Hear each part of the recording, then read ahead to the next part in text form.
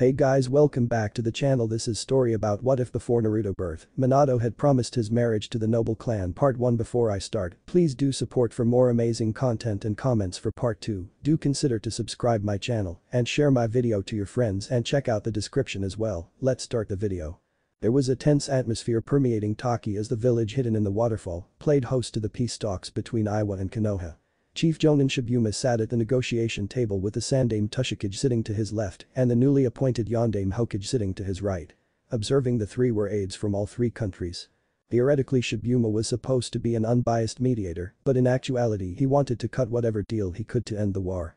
Waterfall country had been caught in the crossfire of the Third Shinobi War, although not as badly as other countries like Rain, and needed the peace.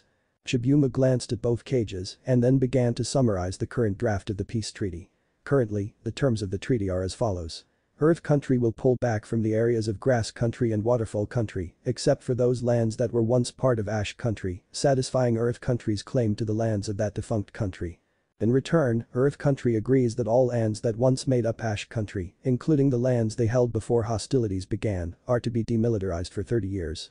For your villages specifically, you've agreed to each recognize a zone of avoidance. Unless on official diplomatic missions or by approval of village Kage, no Iwa shinobi is to come within 40 kilometers of Konoha, and no Konoha shinobi is to come with 20 kilometers of Konoha. There were further stipulations in the treaty in progress, but they were technical points that most people, including both Kages, wouldn't pay much attention to. Inoki frowned as he listened to Shibuma continue to drone on about minor points in the treaty. At first glance the treaty seemed to give Earth Country, and therefore Iwa, many improvements over their pre-war situation. However, such a view did not factor in the power Iwa had during its high point in the war. Just a year ago, all of Waterfall and Grass along with significant sections of Fire had been occupied by Earth. But then, Minato Namikaze developed his Hiraishin and proceeded to slaughter Iwa's Shinobis and Earth Country soldiers. The newly instated Yondaime Hokage was the sole man responsible for reversing Iwa's early victories in the war. Although Inoki didn't want to admit it, the only reason why he was able to extract so much from the peace talks was because Minato was only one man and Iwa still had more soldiers than Konoha. But, that would change in the future as Iwa's spirings had discovered that Minato was secretly married to Kushina Uzumaki, a formidable shinobi in her own right. Minato probably had kept his marriage a secret in order to prevent Inoki from finding out about it the Sandaime Tsuchikage could appreciate the sentiment, but the possibility of Minato founding a clan of shinobi of his caliber was frightening to Inoki. Something needed to be done to neutralize such a threat and that something had to be something that would not lead to further troubles for Iwa. Assassination of either Minato or Kushina was out of the question. Trying to get to either would be risky even under ideal circumstances and that wasn't considering how difficult taking either of them out would be. Furthermore, the fact that Kushina was supposed to be pregnant meant that both ninjas would be on high alert and that the Namikaze family's rise as a prominent ninja clan was close at hand. Suddenly an idea came to Inoki causing him to grin. I have a new condition to add to the treaty. Both Minato and Shibuma wearily turned to look at the grinning Tsuchikage who started to explain his proposal. These current arrangements in the treaty are all very good. However, the treaties ending the first and second great shinobi wars were also very good for everyone. Paper isn't that strong of a binder when something new pops up and then we all go to war again leaving our families venerable. Minato's eyes narrowed in response to how Inoki emphasized families and looked at him. The Hokage instantly knew that the Tsuchikage was stating that he knew about Kushina and the child Minato's wife was carrying. Two questions immediately came to Minato's mind. How did Iwa find out and why was Inoki letting slip this valuable information? But Tsuchikage had to know that Minato would redouble security in Konoha to root out Iwa's spying, now that he knew how serious it was. There was no reason for Inoki to risk something as valuable as a competent spying unless he was going to get something extremely valuable in return. The only question was. What was Inoki after? There was silence for a few seconds as Inoki allowed Minato to stew over what he had said so far. Once the information had its desired effect Inoki continued. We need something more permanent than paper to solidify this peace treaty and ensure that bad blood does not fester between Iwa and Konoha. After all, this whole war was only business. Therefore, I propose a standard marriage agreement between the yet-to-be-born child of the Yondaime Hokage and Kushina Uzumaki with one of the heirs of the Tenjin clan. Such a union would be an enduring symbol of the past being left in the past would it not? It took a supreme effort of will on Inoki's part to keep from grinning like a madman at Minato. At the same time, Minato was using all of his willpower to keep from lashing out at Inoki. Both Kages knew that Inoki had Minato where he wanted him. If this agreement went through and Kushina had a daughter, then Minato wouldn't be able to fight Iwa with his daughter being on the opposite side. If this agreement went through and Kushina had a son, the boy's wife would effectively keep him from raising his hand against Iwa. If Minato refused the agreement he made Konoha look unreasonable, which would cost the village prominent customers. If Minato tried to get Inoki to table that idea by offering concessions in other areas of the treaty, he not only made Konoha look bad, but also increased Iwa's power. No matter what happened, Konoha was put in a tight spot. Minato closed his eyes for a minute as he carefully weighted each and every option available to him. Finally, the Hokage opened his eyes and said, I am willing to agree to you conditioned Tsuchikage. However, I want a provision in the treaty to ensure the safety of those involved in this marriage agreement. Collateral, if you will, Incas disgruntled elements of our villages try to take matters into their own hands. I know that there are many in Iwa would like nothing more than to attack my child, and I also know that there are those in Konoha who do not like the main founding clan of Iwa. Therefore, both Iwa and Konoha should hold up their scrolls of forbidden jutsus to ensure the couple's safety. Should ninjas from one village attack the other village's member in this marriage union, the offending village will forfeit their scroll in recompense. Do you find this agreeable Tsuchikage? Inoki frowned and considered his options for dealing with Minato's unexpected comeback. Either he could reject Minato's stipulation which would lead to the whole arranged marriage plan being scrapped, or he could agree and put his village's most valuable jutsus on the line. I accept the conditions to the marriage agreement between the future Namikaze child and either Asuka or Fubuki Tanjounin that the Honorable Hokage has requested. Effectively neutralizing the future Namikaze threat was much more important to Inoki than worrying about the risk to Jutsus he wasn't about to endanger by breaking the treaty and could be stolen by Konoha via the Uchihas. Minato bowed his head and softly said, make the addition to Treaty Shibuma. The Hokage knew that the Tsuchikage had called his bluff to try and get out of the marriage contract but, Minato took comfort in the fact that at least his child would not have to worry about threats from Iwa thanks to the collateral and the marriage agreement. Minato only half focused on the wrap-up of the discussion as he mentally compassed two letters. One letter was for Kushina so that she could blow off some steam before he got back to Konoha and thus wouldn't kill him. The second letter was for his child explaining why he had stuck the child into an arranged marriage. Kushina Namikaze, it made no sense to keep the illusion that was still in Uzumaki, stood in her kitchen making carrot with some saffron seasoning ramen. As she was stirring the pot, Kushina looked down at her bulging stomach. What is it with you and ramen little one? I get that you like ramen, but please, can't you let mommy eat something besides these noodles? The Namikaze matriarch felt her unborn child gently kick her side.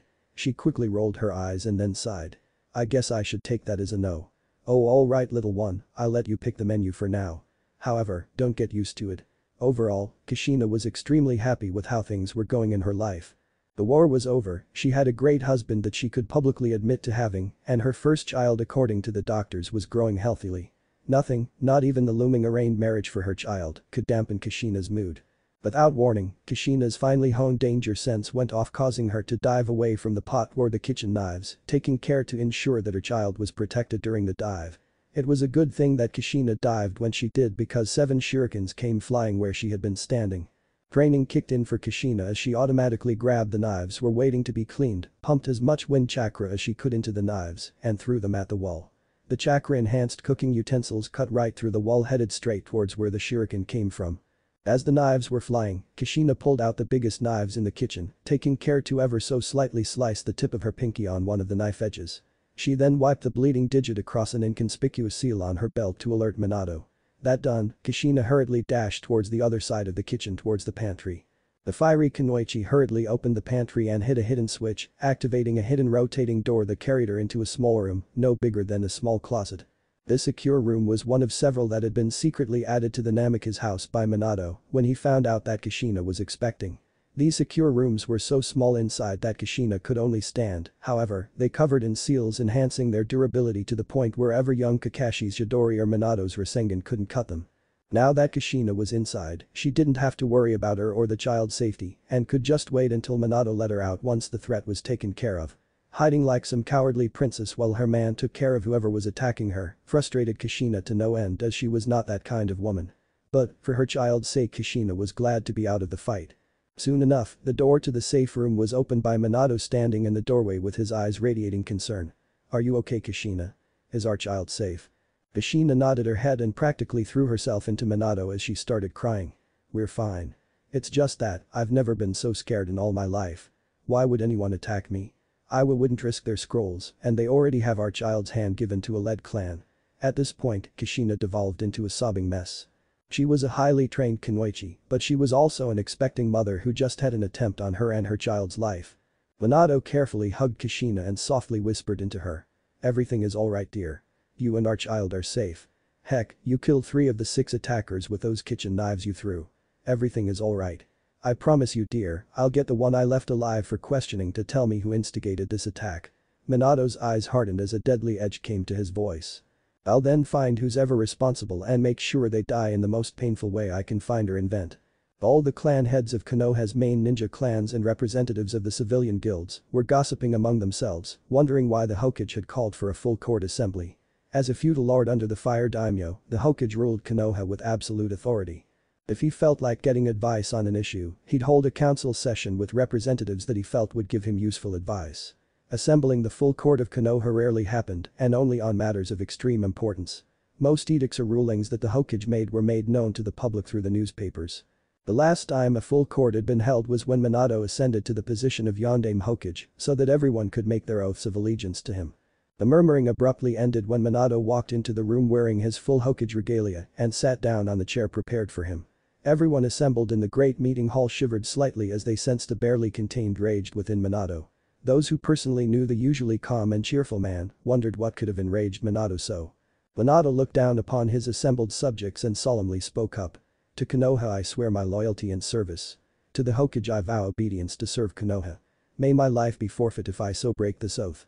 That is what each and every one of you swore when you became adults and which you reaffirmed upon my taking Hashirama's chair. I have summoned you all here today because there are those among you who have broken this oath. Bring out the condemned.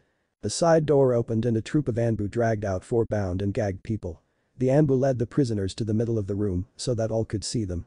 Minato then stood up and announced the condemned's crimes. Hanzo Uchiha and Makoba Hyuga from the ninja clans and Kenichiro Kura from the Jewelers' Guild are all guilty of the following crimes. They have aided the seditious organization known as Northeast and are accessories to a plot to murder a ninja of this village. For their crimes, all three are to be executed via immediate decapitation. Anbu, execute the sentence. The clan heads and guild representatives watched as Anbu quickly grabbed the condemned by their hair, pulled out their ninjatos, and swiftly cut off the trio's heads. Many of the more sheltered guild representatives' faces started turning green at the sight of the triple execution. However, the ninja clan heads all nodded their heads in approval. They all knew that treason was one of the highest crimes that a person could commit. Minato then turned to the final traitor and the ringleader of this band of traitors. Danzo you are a worm whose depravity exceeds even Orochimaru. You dare to think yourself Hokage by your actions. I, not you, decide what is best for Konoha. Only I as the lawful successor of the first three Hokages may organize a shinobi force in Konoha. Your crimes are as follows. Organizing an illegal shinobi force known as Northeast, continuing to command Northeast when my predecessor gave you clemency by ordering Northeast disbanded instead of your head, embezzling funds from Konoha to fund your illegal group, kidnapping my wards the orphans of Konoha to be indoctrinated into your illegal group as your servants, conducting illegal missions both within Fire Country and in neighboring countries, and forging connections with illegal organizations when it suited your purpose. However, your greatest crime was to try and kill my wife and unborn child. Did you really think that could get away with this?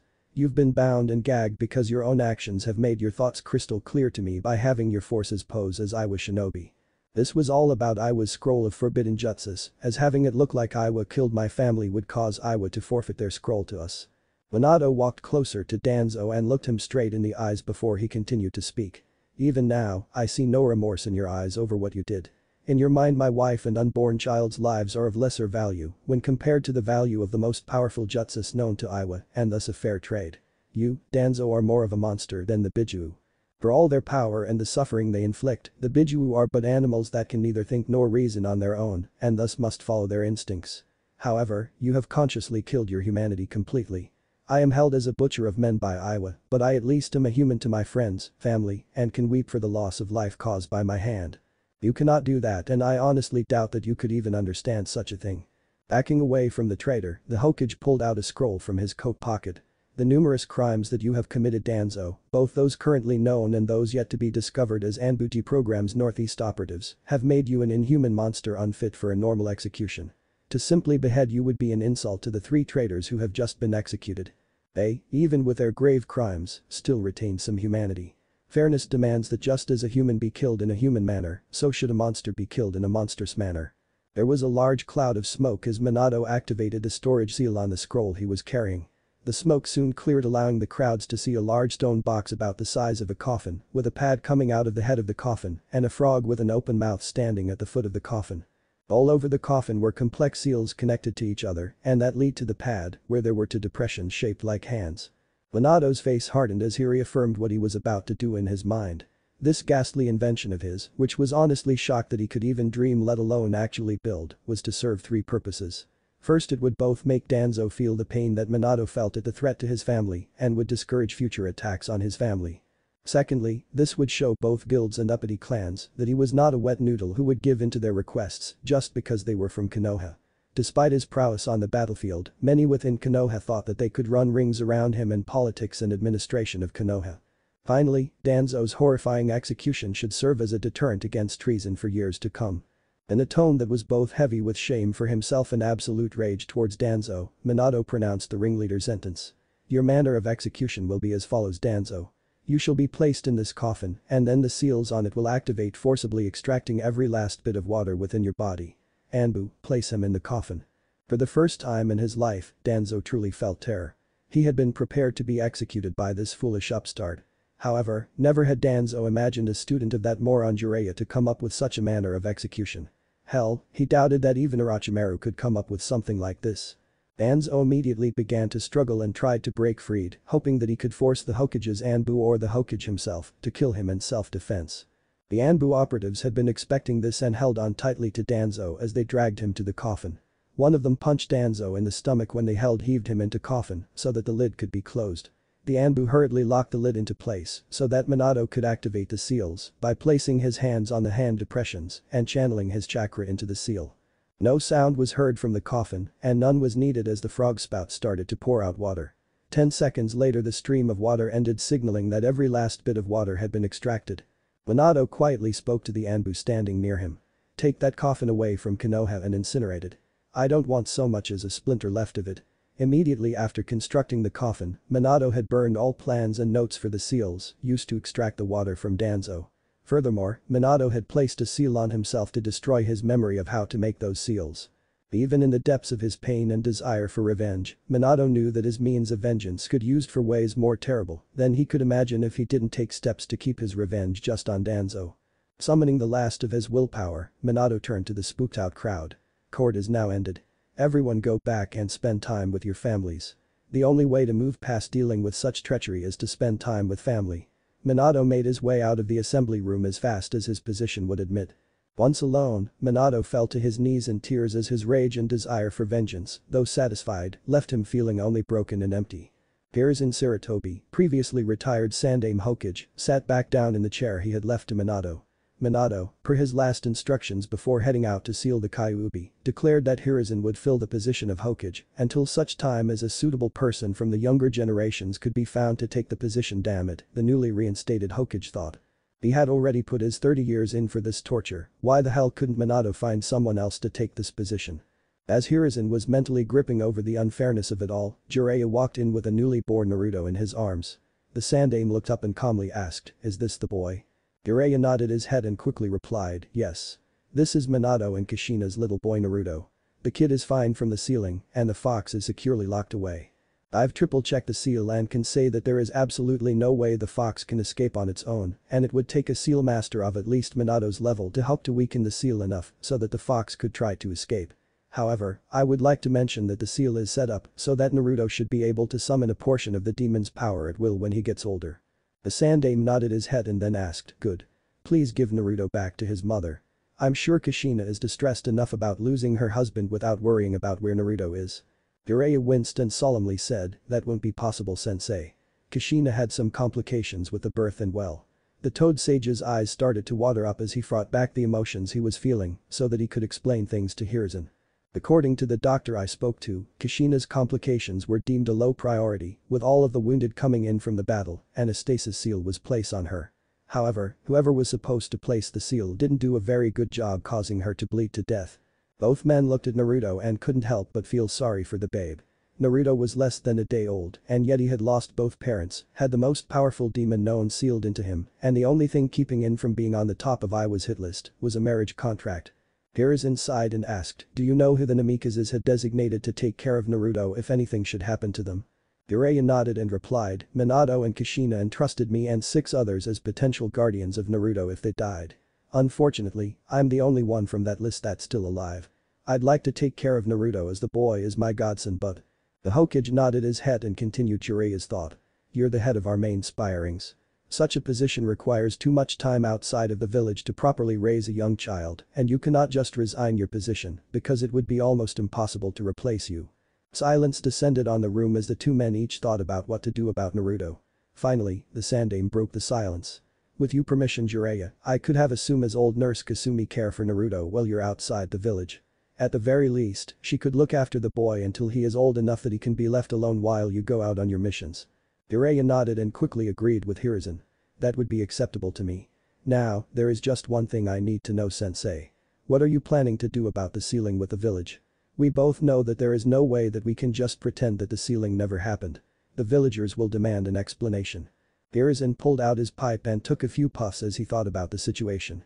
We let it be known that the Kyuubi was sealed away in a secure location, using a divine seal to ensure that the demon can never escape. This announcement will be worded in such a way so that the villagers make the assumption that the Kyuubi is sealed in a place or object and not in a person. Furthermore, the villagers will be informed that the location of the Kyuubi's imprisonment is a top secret will severe penalties up to the death sentence for whoever attempts to discover the seal's location. Sarutobi closed his eyes and then continued on. Only you, I and Tsuchikage are to know that Naruto holds the Kyuubi until Naruto is at least a genin.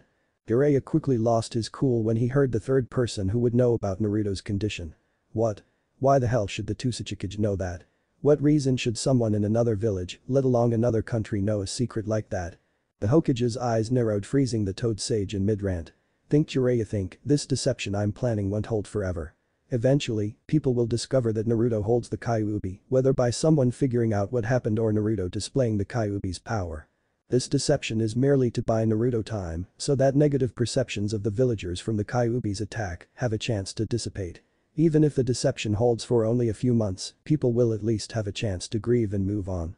My hope is that this deception will last long enough so that Naruto can begin to make a name for himself before this is revealed to the public.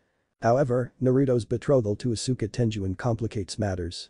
Inoki or possibly his successor could use Naruto's status as the jailer of the Kyuubi against us diplomatically if he is not informed immediately. Never doubt a politician's ability to twist things around if it so suits them. That's how young Naruto ended up engaged in the first place. If we inform Inoki, Jiraiya started to scratch his chin as he thought over what Sarutobi told him. But, the concerned godfather started to ask, what of the risk of Inoki publicly releasing this information?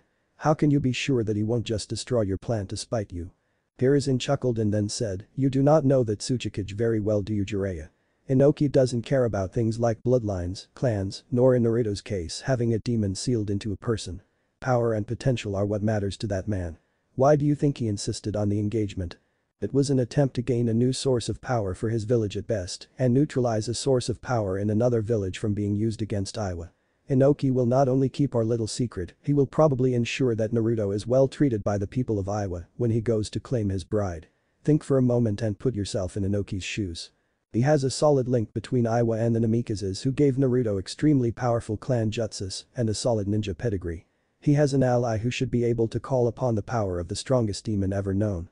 If things go badly here in Konoha he can turn that ally into a subordinate.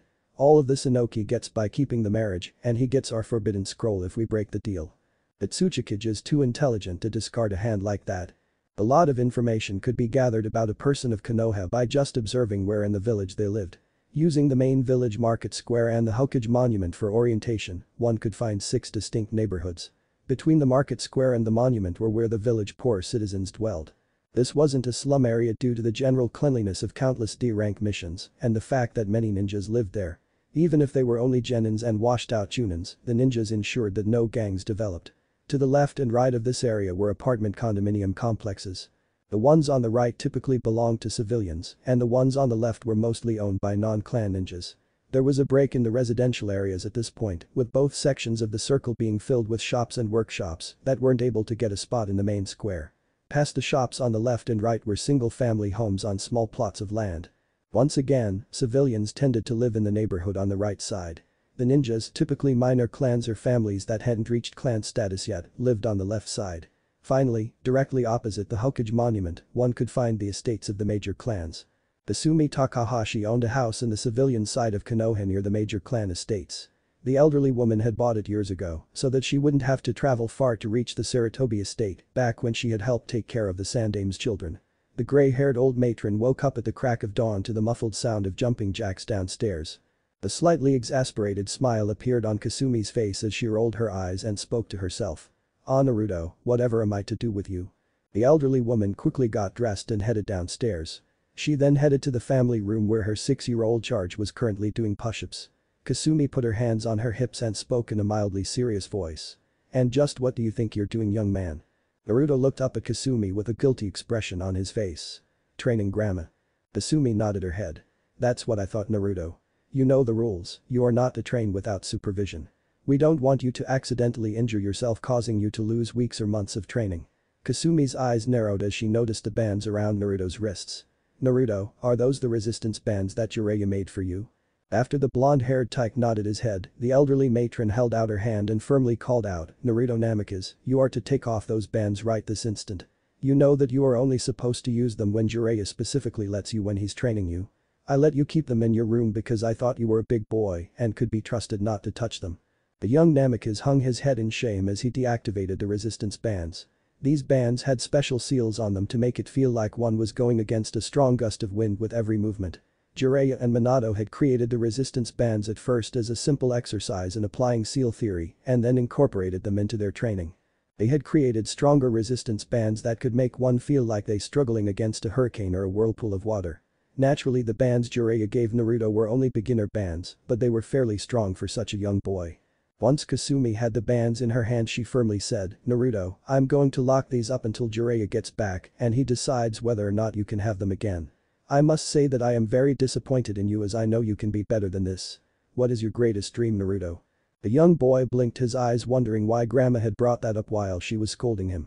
Nevertheless, he quickly answered the question. I want to be a greater ninja than my father, grandma.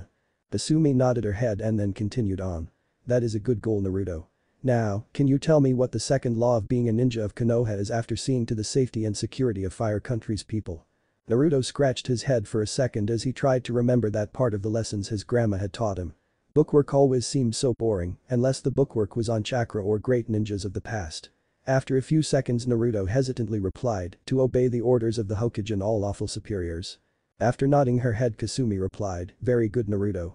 Obedience is a basic part of being a ninja, and a part of obedience is trust that a ninja will obey the instructions he is given.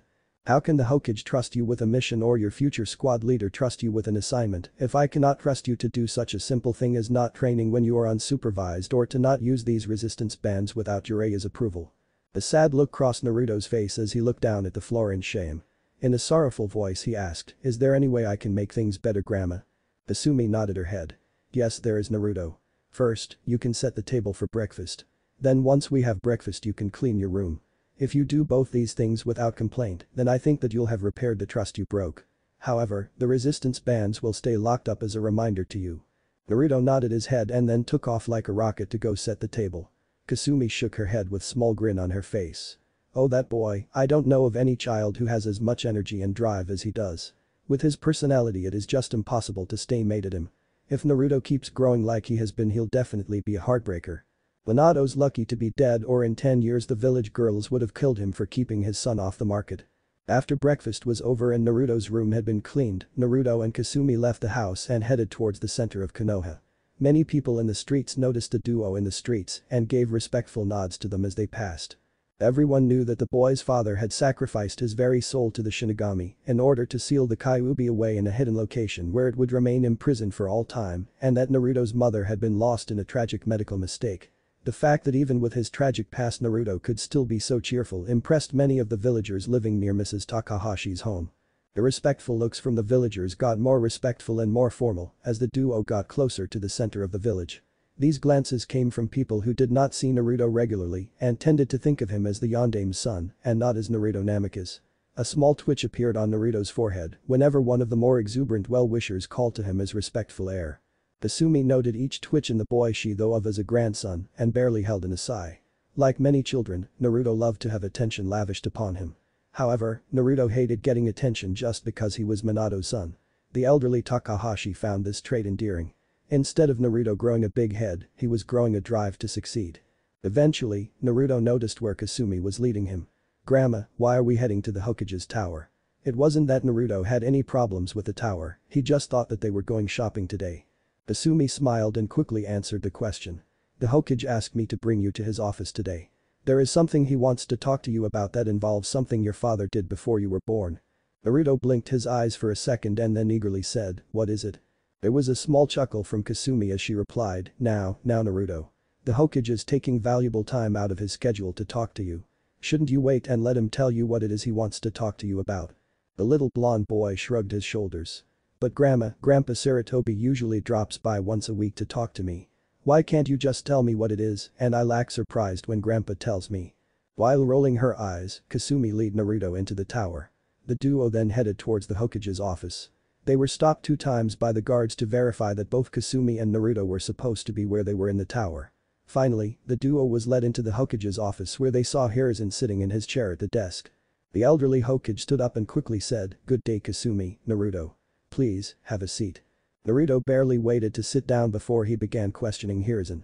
Hey Grandpa Sarutobi, why did you have grandma bring me here? All I was told was that this had something to do with father. Hiruzen nodded his head and smiled in his typical grandfatherly manner. That's correct Naruto. There is something that Jiraiya and I need to talk to you about. Originally, Jiraiya was supposed to explain this to you, but an important lead came up that will delay his return for a few weeks, and we wanted you to know this before you begin at the academy. Tell me Naruto, have you ever wondered how parents get together so that children can have mothers and fathers? Naruto shrugged his head and replied, yes. Grandma told me it involves something called a marriage, whatever that is. I keep on seeing older people coming out of a bar together and thing hear about them getting married a few months later.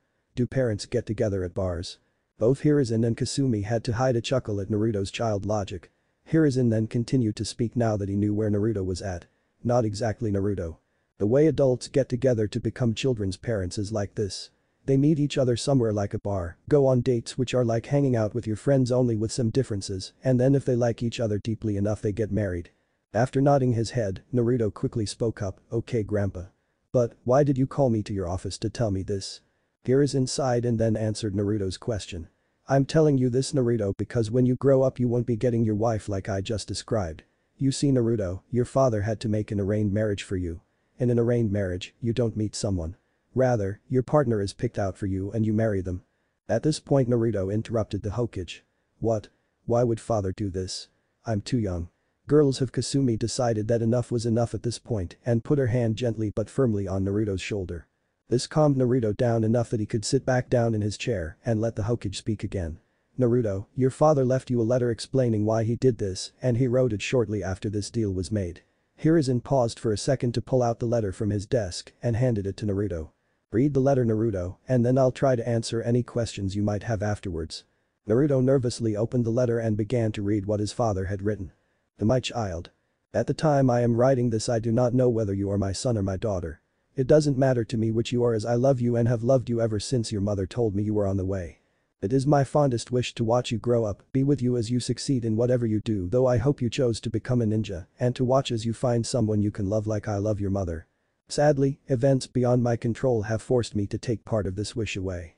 As you are reading this letter, you know about the deal I had to make with Tsuchikage putting you into an arranged marriage. I did not wish to make this agreement and I am truly sorry that you have been forced to have a spouse not of your choosing.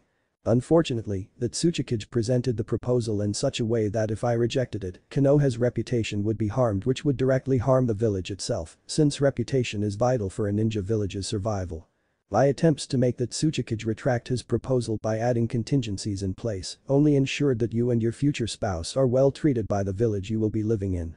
As Hokage, I must do everything in my power and ensure the safety of the village and all who live in it. Your marriage ensures the end of this war and helps prevent the possibility of a future war occurring between earth and fire, thus saving potentially hundreds or thousands of lives. It is a bitter thing for a father to trade his child's happiness to ensure that others live. I am deeply sorry for this and hope that one day you can forgive me. If it helps, think of this arrangement as a lifelong mission. Your mission is to ensure the safety of Konoha by having a long and happy, or at least tolerable, marriage. Hopefully, you and your spouse can grow to love each other or at least become good friends. Sorry it came to this my child. Your father. Minato Namikaze, Yondaime Hokage. Naruto read and reread the letter in order to observe the full message that his father was trying to convey. The young ninja to be didn't understand all of the words in the letter since he was only six. However, he did understand the message his father was trying to get across. After looking at the letter yet another time, Naruto looked up at Hiruzen. My father really didn't want to do this did he? The Hokage nodded his head and would have spoken if Naruto didn't cut him off. I don't want to do this either. But, I know it's something that must be done. A lot of people are counting on this happening aren't they grandpa? Hiruzen nodded his head again proud at the maturity that Naruto was showing. That's right Naruto, your marriage is important and there is a lot riding on it being a success. Jiraiya and I wanted to let you know now so that you could get used to the idea instead of having it thrust upon you when you were older. Furthermore, Jiraiya and I have recently made arrangements with your future wife's family, so things aren't so bad when it comes time for the wedding between you and Asuka. Kasumi spoke up since Naruto's brain seemed to be on the verge of shutting down. What are these arrangements? The Hokage quickly replied, we have set up a secure postal route, not an easy task mind you, so that Naruto and Asuka can't send letters to each other. Neither of them is allowed to leave their village until they are either genins or adults for security reasons. Having them able to write to each other will allow both Naruto and Asuka to get to know each other before the wedding. At least this way they can get to know each other before they meet face to face. Later that night, Naruto was sitting at the desk in his room trying to think of a letter to write. Kasumi had insisted that he write a letter to Asuka introducing himself. Unbidden, her words from dinner came back to Naruto. You really should take this opportunity to get to know your future bride. Most people in arranged marriages don't find out who they're marrying until the wedding day. Besides the Hokage set up a way for you to send letters to Asuka and it is very hard to send letters from Konoha to Earth Country. But, what was he supposed to write? Naruto honestly didn't fully get exactly what was going on. Sure, he knew what marriage was, at least he knew as well as any six-year-old could. However, Naruto wasn't quite sure what he was supposed to say in the letter. An idea came to Naruto and he started to write his letter. After writing a few words, Naruto decided to pitch his would-be letter and start again. This process continued for a while as the young groom-to-be worked on his letter. Kasumi came into Naruto's room two hours after Naruto started working on his letter in order to tuck him into bed. The old matron quickly brought her hand to her mouth to keep herself from giggling at what she saw. Naruto was fast asleep in the chair with his head on the desk. As Kasumi walked towards the desk, she noticed a letter next to Naruto's head. Curious, Kasumi picked it up and inspected the letter. It turned out to be complete except for Naruto's signature. She quickly read over the letter to see what Naruto had written. Hi. My name's Naruto. I'm told that we'll get married one day in the future. Marrying a stranger doesn't sound fun, so let's get to know each other. I like my uncle Jiraiya, my grandma Kasumi, and my grandpa Sarutobi. Well, is my godfather, but I see him as an uncle. Kasumi and Sarutobi aren't my grandparents, but I see them as such. I also like ramen and training. I'm going to be the best ninja ever, just you see. Konoha is a great place to live. Do you like Iwa? Well, I hope you like the letter. I can't wait for your letter. The letter was short and sweet for a six-year-old. Kasumi quickly pulled out another sheet of paper and copied Naruto's letter word for word. She thought that Naruto's first letter to his bride was something precious and should be recorded. If she held a copy, then there was no chance of it getting lost over the years. Besides, it would be great to whip it out and embarrass Naruto and Asuka with when they were teens, especially if she kept a copy of Asuka's reply as well. Once the copy was safely tucked away, Kasumi gently picked Naruto up and placed him on his bed. Kasumi then pulled the covers up to Naruto's chin and then gently kissed his forehead. Good night Naruto and sleep tight. Fugaku Uchiha stood in the Uchiha clan's meeting hall and calmly watched as his fellow clan members walked into the room. For far too long, the Uchiha clan had been neglected by the village. They were the only founding clan still in the village after that washed-up woman Tsunade left. The mantle of Hokage was the Uchiha's right. Fugaku had been willing to tolerate Minato as the Yondaime. The man had been powerful and at the time a strong, unquestionable leader was necessary to win the war. However, Minato Namikaze had passed away seven years ago. For seven years, Hiruzen had held the position of Hokage, and each passing day was like a slap in the face to Fugaku. With the Yondaime's passing, a Godaime should have been elected, more precisely, an Uchiha Godaime should have been elected. The Uchiha clan head didn't care if it was himself or a cousin that held the position. He just wanted his clan to finally have the rule of the village they had created. As the hall filled up, Fugaku thought about what he was planning. The overthrow of the Sandaime. He could deal with Hiruzen retaking the position of Hokage. It was a bitter and almost unbearable blow, but it was something that could be corrected with time. The old monkey would eventually have to give up the position due to death or old age, and then a Godaime would have to be chosen. Fugaku had been quietly preparing for that day so that Itachi, whom he was vigorously training in order to build up the needed reputation, could become Hokage. But, a Hokage needed more than personal power. A Hokage needed support from the village and more importantly the daimyo in order to stay in power. The Uchiha clan was steadily losing support from the village thanks to the older generation, remembering that Fugaku's granduncle Madara had been able to control the Kyuubi with his Sharingan. There were whispers that someone had been seen near the Kyuubi while it attacked the village. These dark alley rumors which were slowly growing more and more frequent claimed that this mysterious figure was an Uchiha who had summoned the Kyuubi to attack the village. Fugaku knew that these rumors were slowly destroying the clan's reputation. If things kept up, the clan's reputation would be so low that even if Itachi was the best ninja in the village, the daimyo would select someone else to be the Hokage. His father had worked tirelessly to ensure that the clan didn't become some non-entity politically like the Hyuga clan. There was no way that Fugaku was going to let that happen on his watch. Taking what was rightfully the clan's by force was the only viable option Fugaku could see. It was a risky move, but the clan had enough ninjas to pull off a coup and it was possible to bribe the daimyo with lower mission rates to get his approval once everything had settled. Once the last Uchiha came into the room, Fugaku started to speak. This village was founded by our clan and the Senju clan. But, ever since that day our clan has had to endure a subordinate position in the village. The Senjus are long gone, but we the sole surviving founding clan are still kept in a subordinate position. We are not recognized for what we truly are. It is our strength that supports this village. Without our sight, Konoha would be blind. For years we have kept the peace within these walls, collected jutsus from our enemies, giving the village vital knowledge to survive in war, and we have done this without once receiving proper thanks for our efforts. As individuals and as a clan we could endure this lack of thanks. After all, we were patiently waiting in the shadows for our time to come. A time when this village that we founded and put so much effort into keeping alive would ask us to come out of the shadows and receive the recognition that we so truly deserved. But, there are elements within the village that seek to deny us what is our right. If they had their way, the Uchiha clan would be ground to dust and people would forget everything we have sacrificed for the good of Konoha. That cannot be allowed to happen. We will not dishonor the efforts of our ancestors and dearly departed brethren by allowing these seditious people to have their way. For the good of all within Konoha, the Uchiha clan shall step out of the shadows and take control of the village. Fugaku's speech was abruptly interrupted when several small explosions that sounded like fireworks going off were heard. Thick clouds of blue gas filled the meeting hall. Fugaku, like most of the assembled Uchihas, tried to cover his mouth and nose. However, there was too much gas in the room and the Uchihas all dropped to the floor before any of them could open a door or window. The first thing Itachi saw when he woke up was a blinding light that forced him to close his eyes. Careful there, the knockout gas heightens your sensitivity to light. Just keep your eyes closed and breathe deeply. The counteragent will take care of that problem shortly. Itachi did as he was told and he started to feel better. After a few seconds that same voice spoke again. Okay good, I now want you to slowly open your eyes. Itachi slowly opened his eyes as directed and was greeted by the sight of a smiling nurse. The nurse then removed the breather mask on Itachi's face. There we go, welcome back to the land of the awake. That was a lot of knockout and paralysis gas you inhaled sir. There won't be any long-term effects, but you will feel tired for the next 12 hours. The doctor says that you should take it easy for the next 24 hours. The young Anbu operative nodded his head. I understand. Don't worry, I will follow those instructions to the letter.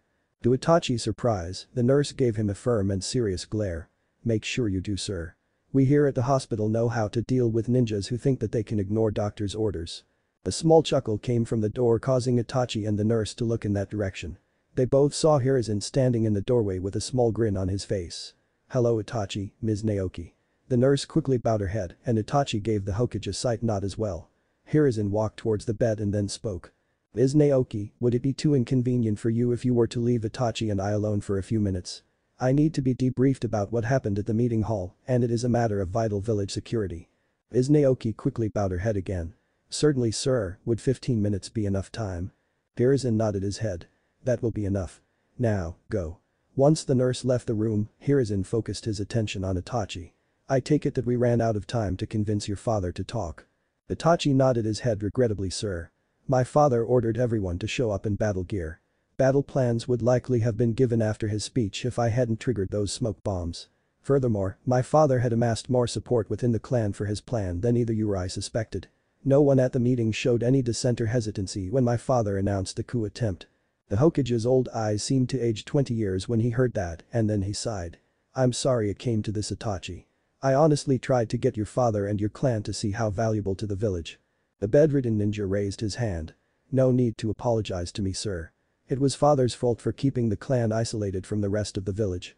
Those rumors that bothered him and the rest of the clan so much wouldn't have occurred if the clan was in regular contact with the village at large. Hiruzen nodded his head. You are quite correct Itachi. It pains me what you've had to endure for this village. This night will leave scars on all of us for a long time. Sadly, what must be done has to be done, and traitors cannot be allowed to live. Your father and the men in the meeting hall will be put to death. The women will be examined by the doctors. If they are pregnant their execution will be stayed until their children are born. Otherwise, they'll be executed tonight as well. You are now the head of the Uchiha clan Itachi. I'm sorry you had to receive this position in such a manner. Unable to speak, Itachi nodded his head and then just lay on the bed. Hiruzen wished Itachi good night and then left the room. Itachi felt like there was a ton of bricks pressing down on him as the thought of everything that had happened came crashing down on him. He, at 15, was now the head of disgraced clan and he had a direct part in killing four-fives of the clan. Even though his kinsmen had been traitors, Itachi was torn up about his role in stopping the proposed coup. It was only the thought of his little brother and the young children within the clan that he was now responsible that kept Itachi from trying to find a way to commit suicide. After an hour of mourning, Itachi forced himself to think about what he should do to look after what was left of the clan. A clear break needed to be made between the survivors and the traitors in the villagers' mind when news of what happened got out. Perhaps he should publicly break down the walls his father had erected around the Uchiha section. Yes, that would be a good start. But, something more dramatic seemed to be needed. What, Itachi wasn't sure yet. Another thing that jumped out at Itachi was the need for the survivors to integrate better into the village as a whole. Those in the academy would have to be encouraged to work with their classmates, and those too young to go to the academy should probably be taken to public parks to play instead of playing at the clan park. He should also set an example himself to the rest of his clansmen. Maybe he should take a bride from one of the minor merchant families. Members of those families would likely accept such an offer, even from a dishonored clan, due to the financial resources at his call. Such a move would drive home that he was not his father However, Itachi decided to table his thoughts and get some sleep. There would be time enough in the morning to make these decisions. No reason to make a decision now. Itachi silently walked into the room in the Hokage's tower where the remains of his clan had been gathered. All in all there were 17 children in the room when Itachi walked in. The oldest children were 12-year-old twins who were beginning their final year in the academy. The youngest child was a four-year-old girl, there were none younger than her because the adults in the clan didn't want to have to worry about defending infants during their planned coup. Suddenly, Sasuke pushed his way through the small crowd and ran to Itachi. Brother. Brother. What's going on? Where are father and mother? Some ninjas in masks pick us up and brought us here. The pang of guilt stabbed Itachi in the heart but he showed no outward sign of it. The new clan head looked at his surviving kinsmen and said, there is no easy way to tell you all this. As of this moment, we are all that remains of the Uchiha clan. Naturally, shell-shocked looks crossed all the children's faces. Sasuke's eyes widened and he whispered out, mother, father, dead. How? That just can't be. Knowing that this needed to be explained firmly started speaking again. There had been a plot in the works by our kinsmen to take over the village. Sasuke, mother and father were in charge of the plot and were captured by Anbu. Can anyone tell me what the punishment for treason is? One of the twins gave the answer in a sad whisper. Death, the punishment for treason is death. Itachi nodded his head, it pains me to say it, but all of our parents and your older siblings were traitors to the village. As such, they are being executed as I speak. The only reason we are here is because the Hokage spared our lives since we had no part in the plot. After pausing for a moment to look at each child Itachi continued, news of what has happened tonight will spread quickly throughout the village. We will be pariahs to most villagers. They will not see us as representing the police who kept them safe all those years, they will only see the sons and daughters of traitors who tried to overthrow the Hokage. A few of your friends, those who can think for themselves, will likely remain your friends. However, many of those who you used to hang out with will look down on you. I don't want to scare you or be mean to you by saying this. I am trying to prepare you all for what is to come. This day will reflect on us for a long time. However, we can and will restore the honor of our clan. It will be a long and difficult time, but through hard work we can remove the stain that our parents left us with. I want you all to think about and strive towards the day when the events of this day no longer haunt us. Many of the younger children couldn't understand some of the words Itachi used. Still, everyone in the room understood the meaning of what Itachi was telling them. The emotion in the room quickly led the 18 Uchihas into a group hug as everyone cried. Naruto was sitting in one of the trees in the academy playground, reading the latest letter Asuka sent him. The letter itself was hidden in the pages of Naruto's favorite book, The Legend of the Gutsy Ninja. Although Naruto was currently the strongest boy in his class, he knew that he'd lose all of the guys' respect if they knew he was getting a letter from a girl. The blonde-haired ninja to be had turned reading Asuka's letters into a sort of game. He won if he could read the letter without getting caught. So far the score was Naruto 5, Shame 0. Even with the threat of ridicule, Naruto couldn't help reading Asuka's letter. Hello Naruto. I hope that this letter gets to you in time for your 8th birthday. Mother says that this should get to Konoha within a week of your birthday, so it's either happy early birthday or happy late birthday greetings from me. Thanks for the photo of you that you sent in your last letter. It's great to actually see you. Mother helped me find a frame for it and I have it set up by my bed. My training is going well. Father has finally started teaching me the basics of my family's golem jutsus. I can't tell you anything more than that since they're family jutsus and you're not family yet. I'm once again in the blue squad at the Iwa Shinobi Institute. It's nice to be recognized as one of the best students currently in school, but I wish the professor in charge of our squad was different. That annoying man keeps on talking about blue squad as if it should be the only squad at the institute. He's tolerant enough of yellow squad but absolutely hates red squad for some reason. Enough of the institute how are things with you? Did you get your resistance bands back after your grandmother took them from you again? Also, some rumors have reached Iwa about some problems your village had with one of the clans. If it's not too much trouble, can you tell me what happened? I don't need to know the specifics, I just want to know what exactly happened and not some wild school rumors. Until next time. Asuka Tenjun. Finished reading the letter, Naruto closed his book and remembered his picture of Asuka hanging on the wall next to his bed. His nine-year-old pen pals, it was easier to think of her as that than as his fiancée, image instantly came to mind. Asuka had long brownish yellow hair that she let grow long and sharp brown eyes. Her face had a determined and yet friendly expression that Naruto found captivating. Naruto's quiet reflections on his future bride were abruptly interrupted by the sound of a nearby commotion. The Namikaze heir turned his head and brought his hand up to his ear. He then heard the sounds of some children taunting someone. Traitor spawn. Look it's traitor boy. You going to turn on us traitor boy? A tick formed on Naruto's head as he listened to what was being said. The eight-year-old quickly put his book back in his backpack and started to walk down the tree. Naruto marched across the playground where he saw several older students crowding around one of his classmates and continuing their cruel taunts. He spotted two pebbles lying on the ground next to his feet. In one swift motion Naruto picked up the pebbles and threw them at two of the bullies. Both pebbles hit their targets in the back of the head, causing the boys to scream in pain. Instantly, the older academy boys turned to see Naruto staring back at them. The leader of the bullies shouted out, what the hell was that for?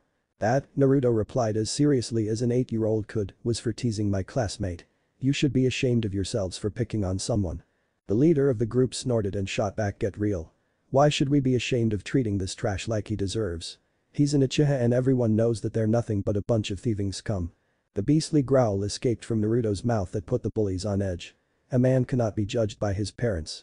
The only scum I see are five pompous idiots who are too full of themselves and yet are such cowards that they'll pick on someone four years younger than themselves. Get. Out. Now. Naruto started to unconsciously flare his chakra. He wasn't sending out a killing intent but Naruto was projecting his anger at the older students. This made himself seem much more frightening to them than he otherwise would be. The five bullies started to slowly back away from Naruto and their previous target they then started running towards the older class's cafeteria like something was chasing them. Naruto gave the retreating bullies one last glare as he muttered, jerks. With the losers out of the way, Naruto turned to see Sasuke Uchiha lying on the ground like he had been shoved there with tears, threatening to come pouring out of his eyes. Naruto walked over to Sasuke and offered his hand. Hey there, would you like a hand up? Sasuke jerked his head towards Naruto and looked at the offered hand. The young Uchiha's eyes then hardened as he thought of the pity Naruto was showing him. I don't need your help. In fact, I didn't need your help in the first place. Naruto blinked his eyes in confusion. What? But you were. Sasuke quickly interrupted Naruto and screamed out. I didn't need your help. The young Uchiha forced himself up from the ground and started walking away. As he walked away Sasuke muttered to himself, like someone like you could help me. Alright Jiraiya, I'm coming at you with everything I've got. Forget it Naruto, you're too young to beat the gallant Jiraiya. The toad sage grinned as he watched his godson charge at him wielding the staff Hiruzen had given the boy for his 11th birthday. Jiraiya waited for Naruto to get in close and then he let loose a powerful haymaker. Naruto quickly blocked the punch with one end of his staff and then swept at Jiraiya's legs with the other end. The toad sage jumped to avoid the leg attack and flipped in midair to avoid a blow to the family jewels. Once Jiraiya had his feet on the ground he did three backflips to get some distance between him and his godson. The Sannin reached into his vest, pulled out three kunai, and threw them at Naruto. His godson grinned and deflected the kunai with practiced ease. Jiraiya knew that Naruto would deflect the kunai and used this time to go underground. Naruto quickly realized his godfather's plan and used his staff to assist in leaping to a tree that was some distance away. The young academy student calmly landed on a tree branch and grinned knowing that Jiraiya's plan had failed. Naruto moved to turn and see where Jiraiya would pop up at. However, the blonde found he could not move his legs and looked down to see that the entire tree branch was covered in glue. Congratulations Naruto, you just died. Naruto whipped his head towards his godfather's voice and saw Jiraiya standing in a nearby tree branch with his hands forming the tiger seal. Jiraiya immediately cancelled the jutsu he had been preparing and sat down on the tree branch. Come on kid, how many times do I have to tell you to never ever lose track of your opponent? Secondly, why did you jump towards such an obvious trap? Seriously Naruto, this is the only tree within 600 meters of this field. Its position as the highest ground on the battlefield makes it a prime trap spot for anyone who gets here first and is fighting a defensive battle. You should have used your pole to jump straight up into the air and prepared a long-range jutsu to attack me while you were in the air. This would have let you turn the situation against the average ninja. Naruto nodded his head as he listened to Jiraiya's critiquing. The young Namikaze carefully listened and made sure to memorize what Jiraiya was telling him. His godfather might be the biggest pervert on the continent, but he was also one of the best ninjas a person could find. Soon enough Jiraiya finished explaining everything that Naruto had done right and wrong. With everything explained, Naruto unfastened his shoes and leaped down to the ground. His shoes would be free after the glue evaporated in an hour. Jiraiya and Naruto quickly got into a Taijutsu sparring match. The Toad Sage limited himself to using just a little more skill and strength than Naruto had. Naruto knew that Jiraiya was restricting himself but didn't bother to complain. This match was to help Naruto improve his skills, not give Jiraiya a punching bag. Back and forth the two fought as time passed by. Naruto rarely if ever got a blow in, but he was slowly winning from simply outlasting Jiraiya. Finally, after the second hour of the fight Jiraiya called out, that's enough Naruto. I'm calling this fight a draw. The sweating Sannin sat down in the grass and pulled out bottle of water. He quickly gulped down the water and wiped the sweat away from his face. Good fight Naruto, if you can just last long enough you'll be able to beat anyone. Naruto nodded as he caught his breath. The young ninja to be had more stamina than anyone his age had a right to have, but even Naruto couldn't keep fighting for two hours straight without feeling some effects. Both Naruto and Jiraiya quietly sat in the field relaxing after a hard day of training. It was the last week before finals at the academy and Jiraiya had wanted to make sure his godson was ready before he left to go maintain his spy rings. The comfortable silence between the two ended when Naruto spoke up. Jiraiya, there's something I want to ask you. I've always had way more chakra than anyone else my age. I also heal far faster than anyone should by themselves. After all, I've had to do chakra control exercises years before other kids in order to keep control of my enormous chakra stores and I've had cuts heal overnight that would have taken a week to heal for anyone else. Why is that? Jiraiya closed his eyes and thought about what he should say. It wasn't like he could just brush Naruto off and tell him to forget about it all. That would simply cause the boy to keep on digging and possibly alert others. But on the other hand, Jiraiya didn't want to hurt Naruto by telling him about the Kyuubi. That could cause him to grow bitter and angry. However, simply leaving everything alone risked letting an enemy be the one to reveal the truth to Naruto, and that was unacceptable. Finally, Jiraiya made up his mind and quickly checked to make sure that they were alone. Alright Naruto, I'll explain. However, I must impress upon you the importance of keeping what I'm about to tell you secret. If we were not talking about you then you wouldn't be allowed to know. So, once I tell you why you heal so fast and have such abnormally large chakra stores you can't tell anyone. It all goes back to your father and his battle with the Kyuubi. As you know, he used the Shiki Fujin to summon the Shinigami and sealed the Kyuubi away. Originally, this jutsu was designed to immediately send both the caster and the target straight into the Shinigami's stomach. However, there is a catch. The victim is supposed to have their soul filtered by the caster's soul and then both are devoured by the Shinigami. The Kyuubi's power was simply too great for your father to handle, and the demon would have simply overloaded the jutsu had Minato not made his revisions. This is where your abilities come in Naruto. Minato's revision was to seal the Kyuubi within you because a newborn can adapt to handle demonic chakra and your father wouldn't ask anyone to make a sacrifice he wouldn't make himself. By placing the Kyuubi within you, your father set it up so that the Kyuubi would slowly be prepared to be consumed by the Shinigami over your lifetime. The unique abilities you've displayed are a byproduct of holding the demon. Naruto blinked his eyes and then nervously asked, then the whole Kyuubi being sealed in a safe place for all eternity. Was that all a lie? Jiraiya shook his head, a slight misdirection of the truth. The Kyuubi is sealed for all eternity by the Shinigami, as the divinely powered seal makes it impossible for the Kyuubi to escape. Also, what is a safer place to store something? A hidden location that a human can reach or with someone who can defend the item and almost no one knows has the item. After carefully thinking about it Naruto answered his godfather. The second option is the safer way to store something. The toad sage nodded his head. You're correct Naruto. Now, I want you to remember not to reveal this information to anyone. After Naruto nodded his head Jiraiya changed topics, well Naruto let's go eat. Naruto walked into his old classroom proudly wearing his new headband and sat down in his old seat one last time. The new Genin was also happy to show off his new ninja uniform. This outfit consisted of dark orange pants and a jacket which had black tiger stripes over them, along with a black t-shirt underneath the jacket. His staff was stored in a seal on his jacket. Soon after Naruto sat down his friend Kiba took the seat next to him. The Namikaze and Inuzuka heirs were fairly decent friends and friendly rivals. Kiba looked around the classroom as more former students came in and grinned he then ribbed Naruto with his elbow. Hey buddy Hinata's checking you out. Why don't you go and say hello before team placement starts? Other than rolling his eyes, Naruto didn't outwardly respond to Kiba's badgering. Dating didn't really have much of a point when one was already betrothed to someone else. Naruto was friendly enough with the girls of his class, but he never did anything that could be construed as more than simple friendship. This never stopped any schoolgirl crushes. However, this policy did prevent the girls from becoming crazy fangirls. Naruto just prayed that things didn't go too crazy when the girls crushing on him found out about Asuka. Iruka walked into the classroom and started to speak, good day my former students. Let me first say something that I have wanted to say ever since the beginning of the year. I hope to never see anyone you in here again, especially you Kiba with your pranks. After a round of giggles from the class Iruka continued on. All joking aside, I must say that it has been a pleasure and an honor to teach all of you.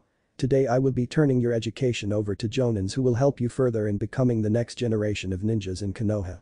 But, before I do that there is the mater of the Rookie of the Year award. Normally, this reward is given to the student who consistently displayed the best understanding and skill in the shinobi arts while attending the academy. This year is different because we had two individuals whose rankings were too close for the teacher's panel to decide. Therefore, both Naruto Namikaze and Sasuke Uchiha have been declared by the teachers panel as this year's Rookies of the Years. Both boys quickly turned to look at each other, while the whole class clapped their hands. Naruto's cheerful and open expression was the direct opposite of the expression on Sasuke's face. The student sitting between the two started to feel a little nervous from the silent energy being exchanged by the boys. This tenseness ended when Sasuke quietly grunted and Naruto ever so slightly nodded his head. Iruka continued on listing the teams while this was happening. Our next instructor is Hiashi Hyuga, who will be teaching Ino Yamanaka, Naruto Namikaze, and Shino Aburame. Inoichi Yamanaka will be teaching Kiba Inuzuka, Sasuke Uchiha, and Shikamaru Nara. Itachi Uchiha will be teaching Choji Akimichi, Hinata Hyuga, and Sakura Haruno. Kakashi Hatake will be teaching at this point Naruto only bothered to pay half attention to the list of students and teachers. Soon enough, Iruka finished the list of teams and explained what the teams were supposed to do. Now, I want all of you Genins to listen up and listen very carefully. Outside the classroom on the bulletin board are clearly written directions to where your instructors will be at in one hour. You must be at the specified location at the specified time. If you are not, then your instructor will deem you as unable to perform the basic functions of a ninja and have you stripped of both your ninja license and your chance to reapply to the academy. Once you have met up with your instructor you will be given a team test to see if you are truly ready to be a ninja. The academy test was simply to see if you had the basic skills down.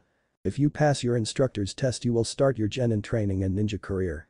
If you fail your instructor's test you will be placed in a one-year remedial course here at the academy. Remember, you're supposed to be adults now. Your actions will have consequences for you and your future. Everyone dismissed. Hiashi Hyuga calmly sat on the grass by one of the small streams that ran through Konoha, serenely sipping freshly made tea from a small tea kettle he had set up nearby on a rock. As he sat, the Hyuga clan leader reflected on his current situation. This would be his fourth time as an instructor for a Genin squad if his would-be pupils passed his test. It was Hiashi's hope that his new potential students would be at least as good as his previous students. Ino, Shino, and Naruto arrived 10 minutes before the time Iruka said they had to be there by. Hiashi held his teacup near his lips and closed his eyes. You're too early. Your instructions were to be here one hour after your academy instructor announced the teams, you were not instructed to arrive here 50 minutes after the announcement. A ninja must be on time and neither early or late. Do either of these will have devastating consequences in combat. Give me a good reason why I shouldn't fail you now for being irresponsible. Shino's eyebrows appeared above his sunglasses and Ino's eyes bulged out in surprise. However, Naruto quickly bowed his head and answered Hiashi. We were only informed that there would be penalties if we were late. I suggested to my teammates that we arrive early to ensure that we met the deadline. Hiashi opened his eyes and stared directly at Naruto. Those wide eyes seemed to drill into Naruto's blue eyes as Hiashi searched for something. After a few seconds Hiashi stopped staring and took a sip of his tea. He then set the cup down and announced his decision. That is sound reasoning for a fresh academy student and I respect your owning up to your actions. Very well then, you three have passed the first test. If you pass the second test you will be on time for all team meetings. The Hyuga clan head pulled out a small scroll and used it to seal up his tea set. He then stood up and looked at the trio in front of him. Other instructors usually begin this part of the exam with a round of introductions. You should already know each other well enough to work together in this test from your time at the academy. You also know my name and that is enough while you take your final test. If you pass, I will let you know more about me. Your test is simple. I will place a scroll down on the ground, you will pick it up, and then you will do your best to give the scroll to my former student Kurenai. You will be shown a photo of Kurenai and a map of where she will be waiting before the test begins. I will be preventing you from giving the scroll to Kurenai. If she does not receive the scroll within an hour of the test starting you will fail. I will give you 5 minutes to plan your strategy before the test begins. Hiashi showed the trio a photo of Kurenai, then showed them a map of where she would be, and finally walked away so that the planning could begin. Naruto immediately pulled his teammates together. Okay Shino and Ino, we know what we've got to do so do you have any ideas? Ino quickly voiced her opinion. You should carry the scroll Naruto. You did get the best track record out of the three of us at the academy. Shino adjusted his sunglasses. I disagree. Hyuga would know that Naruto would be the likely carrier for just that reason. Logically Hyuga will target Naruto, run him down due to better physical conditioning, and take the scroll. Someone else should carry the scroll. At this point Naruto added his two cents. Hey, all that matters is that the scroll gets to Kurenai. Since only one person can carry a scroll we should have the other two people delay Hiashi. I'll be one of the delayers, and I think Shino should be the other since he's a better fighter than you Ino. Ino looked like she wanted to punch Naruto, but Shino quickly interfered. I agree with Naruto. Ino's abilities are not primarily directed towards direct confrontation and should be the runner. However, she should not be the one to pick up the scroll. Naruto should retrieve the scroll and pass it to Ino. Naruto nodded his head and then both boys turned to look at Ino. Fine, I'll be the runner. You two had better make sure that our instructor doesn't get close to me because if we have to go to remedial training, I will personally turn it into hell for both of you. A minute later Hiashi stepped back into the trio's line of sight and called out to them. Your five minutes are up. The test begins now. With that, Hiashi threw the scroll at the trio and it landed by their feet. Naruto quickly snatched up the scroll and the trio bolted as Hiashi ran towards them with his bloodline active. Shino turned around to delay Hiashi by releasing most of his Kikaichu. The small cloud of insects quickly spread out and moved to surround Hiashi. At the same time, Shino jumped into the tree branches to get away from his opponent. The Byakugan would likely find him, but Shino figured that this should delay Hiashi. The Hyuga clan head would have to take him out to stop the small swarm, losing valuable time to catch his teammates. To Shino's surprise Hiashi made a fist with his right hand for a few seconds. He then threw a punch while shouting, Haki Hasenjeki. There was a momentary white flash of light and then the Kikaichu in the center of the cloud were sent flying. Most of the destruction bugs smashed into the surrounding trees and died on impact. Both of Shino's eyebrows rose above his shades after seeing half of his allies die from a single attack. However, the young Aburame wasn't about to let his allies die in vain and began throwing his shurikens at Hiashi while jumping from tree to tree. Hiashi quickly jumped out of the way and into the trees. The would-be Jonin instructor rapidly closed in on Shino to get within striking range. Shino barely managed to stay one step ahead of his opponent as he kept jumping backwards away from the attacks. The whole tempo of the fight suddenly changed when Hiashi landed on a tree branch and was struck by a jolt of electricity. He quickly jumped back to the last branch he had been on and started looking. It didn't take the Byakugan wielder much time at all to spot four seal tags. Seals weren't Hiashi's specialty, but he knew that Naruto had received some training in both seal creation and usage from Jiraiya. Naruto unexpectedly jumped out of the ground behind Hiashi and used Futon. Daitoppa before the Jonin could properly react. Hiashi was sent flying towards the barrier and hit it. The young Namikaze quickly landed on the ground and rushed towards the barrier. Unlike Hiashi, Naruto passed through the barrier unharmed thanks to a tag he was carrying. The two genin quickly met up on the other side of the barrier and watched as Hiashi struggled to escape. Naruto turned to look at his partner. That barrier won't hold him for long him for long Shino. How are you holding up? Shino quickly replied, I've lost many of my Kikaichu, my shuriken supply is down to 15% and I am rather fatigued from physical exertion. Even with trying to catch his breath the young bug user was able to sound calm and logical. Naruto nodded his head and pulled a scroll out of his jacket and tossed it to Shino. There's a hundred shurikens sealed inside. Stay back and distract Hiashi with those while I take him on with my staff. Shino nodded his head and moved into position while Naruto summoned his staff. They were just in time as the barrier seals gave way and Hiashi landed on the ground steaming mad. Even someone as level-headed as the Hyuga clan head would be enraged after being electrocuted. Naruto was soon at his wits end as he frantically dogged and deflected Hiashi's attack. If it wasn't for Shino and his lone shurikens Naruto was sure he would have been beaten in the first few seconds. All too soon, Shino ran out of shuriken. Naruto's comparatively meager defenses soon failed against Hiashi's assault, leaving the blonde ninja with his tenketsu closed. Shino quickly leaped down from the tree branch and moved to pick up Naruto. However, the young Aburame quickly pined to a nearby tree by kunai. Both boys were clearly beaten with no hope of being able to delay Hiashi any longer. The Jonin gave a slight nod at the boys' efforts and moved to simply knock them out before he went after Ino. Hiashi's hand was centimeters away from Naruto's neck when a red flare went up in the distance staying Hiashi's hand. The Hyuga clan leader looked at the flare for a second and then a small smile appeared on his face. Well done you two. You managed to delay me long enough for your partner to deliver the scroll to Kurenai. If this had been in the field both of you would be dead or captured by the enemy, but the vital information you would be protecting would be safe. Therefore you have completed your mission and passed this test. To Naruto's surprise, Hiashi reached down and helped him up. You both showed acceptable potential today. I will help you reach that potential so that you can complete missions like this and many more without having to sacrifice yourselves. The hiashi walked home after confirming his new team with the register's office in the Hokage Tower. He quickly made it to the front of the Hyuga clan complex where he was greeted by the two guards who promptly bowed to their clan head. This greeting was quickly responded to by a slight nod of the head from Hiashi. The clan head then briskly walked into the center of the complex where the main family lived. He then headed to his office and proceeded to tackle his responsibilities as clan head. Being the head of a major clan was not as time-consuming as people might think. Individuals and families within a major clan, even one as centralized as the Hyuga, had a great deal of autonomy. There were only five situations from the clan members that merited Hiashi's attention as clan head. First was if someone was going to get married. In that situation, his job was to check to make sure that any dowries or bride prices put up were fair and then give the couple his blessing. Next, the clan head was involved if anyone was planning on buying or selling land. This was because land technically belonged to the clan as a whole, with the individual being the permanent administrator of the land. After that came the duty of making sure that the clan had at least the minimum number of shinobi available to meet its quota for the village. Not providing the minimum shinobi would violate the Hyuga's oath to the Hokage and could cause harsh penalties for the clan if the Hokage wanted to press the issue. Yet another task was representing the clan on certain village religious festivals. Finally, Hiashi had the responsibility to settle internal clan disputes. Issues would only be brought to the courts if the matter involved someone outside the clan. These duties took very little time to complete. 15 minutes once a week because two clan members were arguing over something trivial, like whether or not someone's goat had eaten another's flowers was the typical situation that Hiashi found himself in. He also didn't have that much day-to-day -day business with the clan finances either. Tithes were paid into the clan fund from missions automatically and he decided which merchant league or craft association those funds should be invested in.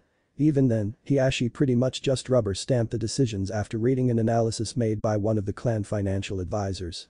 Hiashi had just finished looking over the paperwork showing what the clan had made from the Butcher's Guild when Hinata came into his office. Putting the report down, the clan head turned to face his daughter. He mentally at Hinata's timid demeanor. Hinata would make an almost perfect clan head's wife, but she lacked the will and determination to be the clan head she was supposed to one day be. In a calm and stoic manner Hiashi said, yes daughter, why have you come? Much to Hiashi's annoyance, Hinata looked down at the ground and meekly replied, sorry father, but you asked that I tell you how my final test went. My team and I passed our test. While Hiashi was pleased to hear this expected news, the manner in which it was delivered left much to be desired. If only she had looked at him or at least spoke more confidently. The elder Hyuga let only a measured fraction of his disappointment out as he said, as expected. You may go now. Hinata bowed her head, a bit too low for Hiashi's preferences, and then slowly moved towards the door. Hiashi waited until Hinata was out of earshot and then he slammed his fist on his desk. What by the ancestors was he doing wrong? Why couldn't he break his daughter out of her shell and bring the strong young woman inside to the surface? Anyone with any common sense could figure out that Hinata had a strong will given her ability to endure the pressure placed on her without complaint or crying. But why oh why couldn't the girl grow a backbone? All Hiashi asked for was for Hinata to speak up on something she felt was important. Even a little defiance would be good if it showed that Hinata could stand up for herself instead of just folding in like a sack of potatoes. The first two months after Team Hiashi formed were spent training and doing missions. Hiashi had set things up so that the team was on a cycle consisting of one full day training with each other, a day where they were expected to complete 2D rank missions, and then a half day of training as a team. Naruto and Shino both showed solid and steady improvement during this period.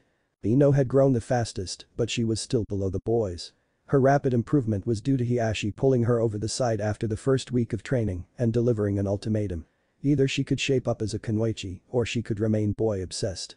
If she chose the latter, Hiashi would put in the paperwork to have her transferred for Black Widow training. Needless to say, Ino quickly decided that her training was more important than her looks.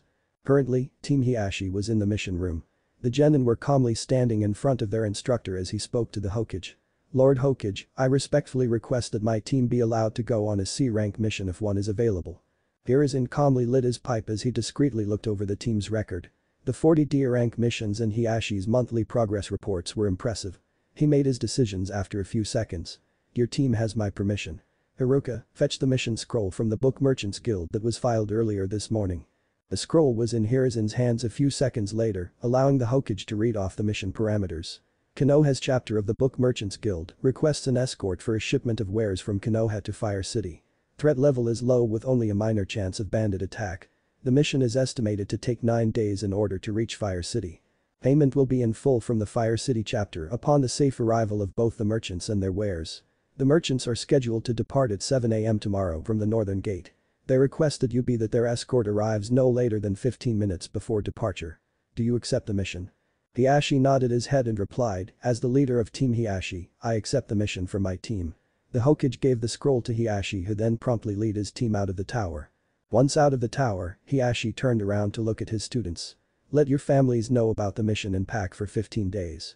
We will meet again at the usual training ground promptly at 6.30 tomorrow morning. You have the rest of the day off. The Hyuga clan head then started walking from his students. He pretended not to hear Naruto and Ino's cheers of excitement. Ninjas, to Hiashi, should be calm and in control of themselves when on duty. As long as the trio did this when they were on the clock, he had no problems with how they acted in their free time. Back with the Genins, Naruto had his fist in the air as he yelled out, alright. Finally. We've got ourselves a real ninja mission. Ino grinned at her comrade's enthusiasm and added her two cents. D ranks may beat what my parents pay me for working in the shop. But, if I had to clean one more clogged sewer drain I'd go nuts.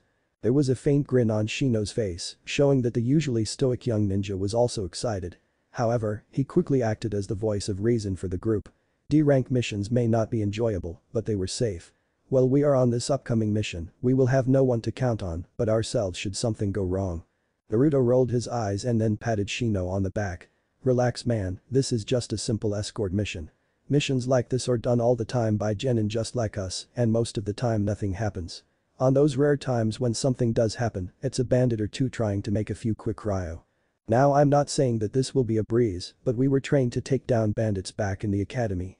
Shino nodded his head accepting his teammate's argument. Good point Namikaze. However, it would still be foolish to treat this mission as the other missions we've done. I must head home now so good day to the both of you. With that, Shino left the duo and started heading home. The Yamanaka flower shop was between Naruto and his house, so he and Ino continued walking together for a few more minutes. Ino waited until the flower shop came in sight before she spoke again. Hey Naruto, do you think I could borrow a sealing scroll? I want to bring my poison kit and I don't want to have to lug it to Fire City and back. Naruto was digging into his pockets before Ino could finish her explanation. He pulled a scroll out of his jacket and tossed it to his teammate. Here you go Ino. Just remember that you've got a 20 kilograms weight limit. If you try to stuff anything heavier into that scroll, it will explode. See you tomorrow. It didn't take Naruto long to reach his and Kasumi's house from the flower shop. The young genin opened the front door and saw Kasumi in her favorite chair, slowly sipping a cup of tea. Naruto pretended not to notice the small shaking in his old caretaker's arm as she held the teacup. Kasumi turned to look at Naruto and she softly spoke. Hello Naruto. You're home rather early today. Naruto smiled at his grandmother and he proudly exclaimed, my team's got a C-rank mission. Sensei let us go home early to prepare for the mission. We leave bright and early tomorrow and should be home in 15 days. There was a soft smile on the elderly woman's face when she heard the news. That's good to hear Naruto. I know that you'll do well on your mission. Kasumi then slowly put her tea down on the small table next to her chair before continuing. Why don't I make your favorite dinner tonight to celebrate? It took the old woman a few seconds to stand up. Once Kasumi was up, she walked towards Naruto and gave him a hug. After the hug was over, the two separated to do their self-appointed tasks. Kasumi headed to the kitchen to get started on preparing Naruto's favorite meal. Naruto headed upstairs and started packing his supplies for the upcoming mission. Once Naruto finished packing, he placed the pack by the door and started reading a book on intermediate sealing theory. Team Hiashi showed up at the northern gate exactly at 6.45 the next morning. The genin calmly stood by the gatehouse as Hiashi approached the head of the merchant team. My team and I will be your escort on your journey to Fire City. After saying this, Hiashi pulled out the mission scroll and offered it to the lead merchant. The merchant quickly accepted the scroll and rapidly read it for confirmation. Once the merchant was satisfied he handed the scroll back to Hiashi. Glad to have you guys with us. If you want, you can ride on the wagons. Hiashi nodded his head and then gave his response. Team, I want you to form standard defense formation 5. Ino is to take point with me in front of the first wagon. Naruto and Shino, you two have the second card. It just took the team a few seconds to take their designated positions. While this was going on, the merchants were nodding approvingly at the team's professionalism. They had made this trip many times and were used to breaking in rookie genin teams. None of the book merchants had ever gotten a reason to complain about the genins when it came to the ninja's ability to defend the caravan. However, there was usually a certain naivety among the rookies that was rather grating for the old merchants. The lead merchant waited until after Team Hiashi was in position to begin his final check of the caravan. Once the lead merchant was satisfied, he stood up and gruffly spoke up. Alright men, we're wasting daylight so let's move out. The lead merchant then cracked the reins and the oxen started pulling the wagon. Fire City first came into Team Hiashi's view nine days after they set out from Konoha. Naruto paused on a hilltop for just a moment to get a good view of the city below. The outer walls of the city were about as high as the walls of Konoha. Most of the buildings near the walls just had their roofs visible. The taller buildings were more in the center of the city. From his viewing spot it was possible for Naruto to spot some of the major shrines of the city. There was a small rise in the city's elevation towards the southwest end. This was where the daimyo had built his palace complex. Naruto would have looked longer at the capital city. However, that would result in him falling out of formation and that was something Naruto didn't want. The team had managed to perform its duty of escorting the merchants wonderfully and Naruto was not about to mess that up after coming so close to finishing the mission. He so smoothly resumed his pace that only Hiashi noticed that the young Namikaze had momentarily stopped walking. The merchants quickly led their wagons towards the main gate of Fire City. Hiashi spoke up as the group approached the gate. Remember to have your identification ready and keep a discreet eye on the guards when they check the merchant's wares. Some guards will swipe a few goods from a merchant while checking the convoy. The genin nodded their heads and pulled out their ID cards. The slightly overweight guard walked from the guardhouse and approached the merchants. The guard gruffly addressed the group. Alright, I need to see some names and a list of what you've got. Any funny business and the lot of you can spend the rest of the day in a jail cell until the constable can sort you out. It didn't take long for the guard to verify that everything was in order. Of course, the hardened gaze of Hiashi was very useful in speeding up the process. Once the guard checked everything, both the merchants and Team Hiashi were allowed to enter Fire City. Everyone then headed over to the Book Merchants Guild headquarters. The lead merchant turned to Hiashi when they reached the gates of the headquarters and said, mission accomplished. The money for the mission will be deposited in Konoha's accounts by the end of the day. Hiashi nodded his head and respectfully answered, it was our pleasure. He then turned to his genin and simply stated, follow me. Naruto, Ino, and Shino nodded their heads and quickly followed their sensei out into the busy streets. Shortly after leaving the guild headquarters, Naruto spoke up, Hiashi where are we going? The young Namikaze had initially thought that they would just head back to Konoha. However, the Hyuga clan leader wasn't leading them the way they had entered the city. Both Ino and Shino waited eagerly in their own manner to hear their teacher's reply. They also wanted to know, but unlike Naruto they weren't about to ask. Hiashi answered his student's question in his typical calm and regal manner. Konoha has a hall every major city in Fire Country. These halls allow us to receive missions from more clients and serve as a friendly place to rest after a mission. We are going to go to the Fire City Hall to report the success of our mission and rest for today. We'll start heading back to Konoha tomorrow. It didn't take long for Team Hiashi to reach Konoha's hall. The hall itself was a rather simple building that had only two distinguishing features. First, the Konoha emblem was proudly displayed on banners visible from all four sides. The second distinguishing feature was the high wall and guard towers surrounding the hall. This made the ninja outpost a literal fortress within the commercial sector. Team quickly showed their papers to the guard at the hall's main gate and then were promptly led into the shinobi section of the hall. Once inside, Hiashi spoke up. The three of you may select any empty room on the Genin floor to stay in tonight. But remember, you're only Genins so the three of you must share the same room. I'll be on the Jonin floor if you need me. You may leave and explore the city if you wish. However, you will be back in the hall by sundown if you decide to go out. Is that understood? The three Genins nodded their heads and then walked into the hallway where the Genin rooms were located. Ino quickly turned to her teammates and spoke up, alright boys. I'm selecting the room we're staying in. Is that clear? Naruto and Shino both silently nodded their heads. It didn't matter to them which room they stayed in. The boys quickly followed behind Ino as she led them down the hall until she found a room that she liked and wrote the team's name on the chalkboard attached to the door. Once inside, Ino spoke up again. I'm taking the single bed. You two can sort out who gets which bunk on the bunk bed. I'm going to go explore the city and I expect to have the single bed when I get back. After Ino left, Naruto turned to face Shino and asked Top. Shino quickly gave the young Namikaze a glare which caused Naruto to sigh. How about rock paper scissors and the winner gets the top? Shino nodded his head and replied, agreed. The two young ninjas quickly started their game for the bunk. A small smug smirk appeared on Shino's face when he won the game. The young bug wielder quickly climbed up the ladder to cement his claim before Naruto could call a rematch. Naruto grudgingly took the lower bunk. For the next couple of hours, the boys quietly read some books that they had brought along. Exactly 15 days after they left, Team Hiashi returned to Konoha and stood before the Hokage. Hiruzen patiently waited as Hiashi gave his report. Occasionally, the old leader would nod his head when the Jonin related something of importance. After Hiashi finished, the Hokage put his pipe down and spoke. So you had a routine escort mission and encountered no threats during the mission. Furthermore, the caravan you were protected arrived on time and the merchants had no cause for complaint from any member of your team. Good job Team Hiashi. If you keep up the good work I may be willing to let you take more C-rank missions in the future. All members of the team nodded their heads accepting the Hokage's praise. While Shino and Hiashi kept their usual stoic expressions, Ino and Naruto both started grinning at this news. Hiashi then asked, is that all sir? Hiruzen nodded his head. Team Hiashi is dismissed. However, I request that Genin Namikaze stay for the moment. The rest of you may leave. Ino and Shino glanced at their teammate, whose face clearly showed his surprise at the Hokage's request. Hiashi placed his hand firmly on Naruto's shoulder for a second and then he led the other two members of the team out of the office. Now alone with the Hokage, Naruto gulped wondering why he was being singled out like this. Sir, why did you request that I stay behind? Hiruzen sighed and took off his Kage's hat.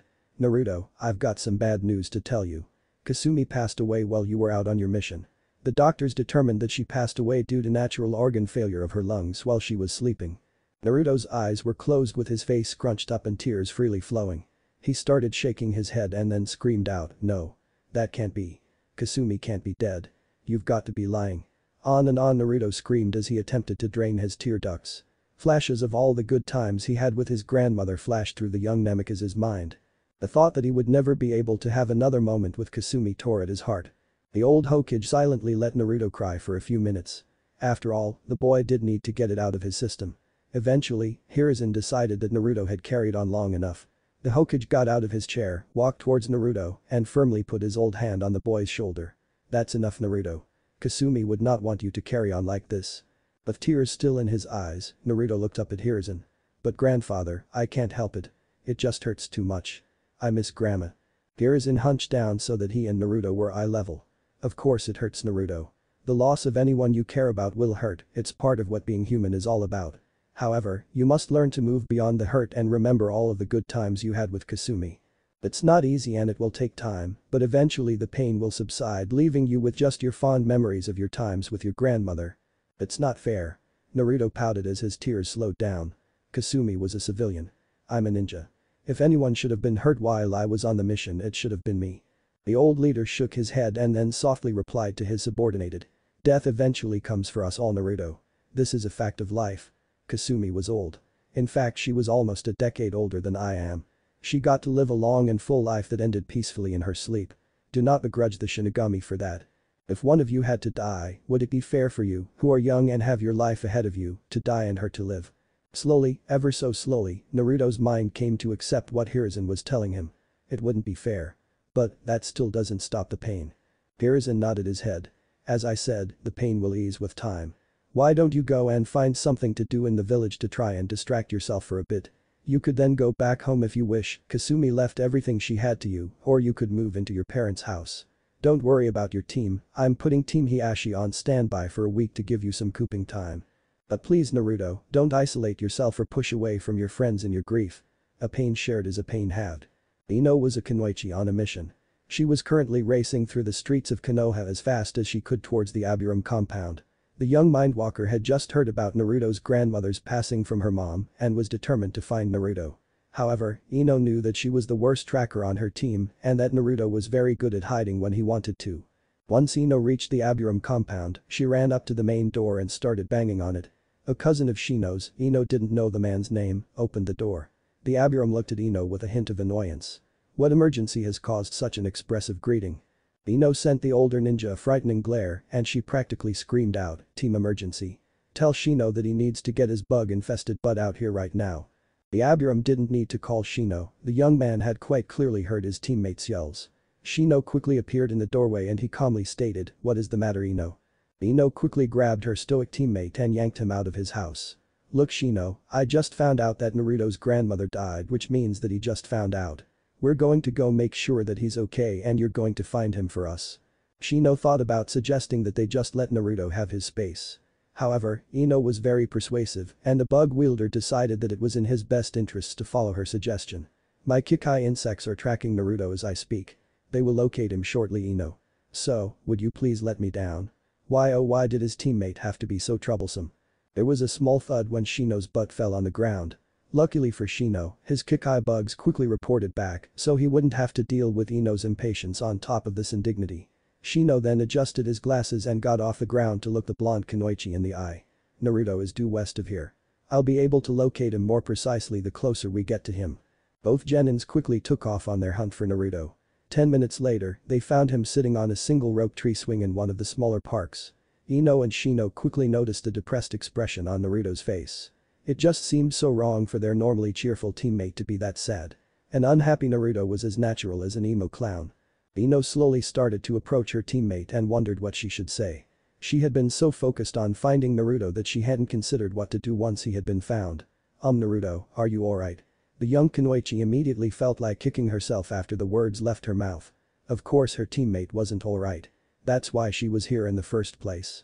This was her favorite park. Naruto muttered from the swing. She always used to bring me here when I was little to play. I can still remember the first time I was on this swing. Heck, I can still remember the clothes I was wearing and where all of the other kids were when she gave me that first push. Naruto couldn't continue speaking because of the tears that started pouring out. Ino walked closer to Naruto and pulled him into a hug, letting him cry on her shoulder.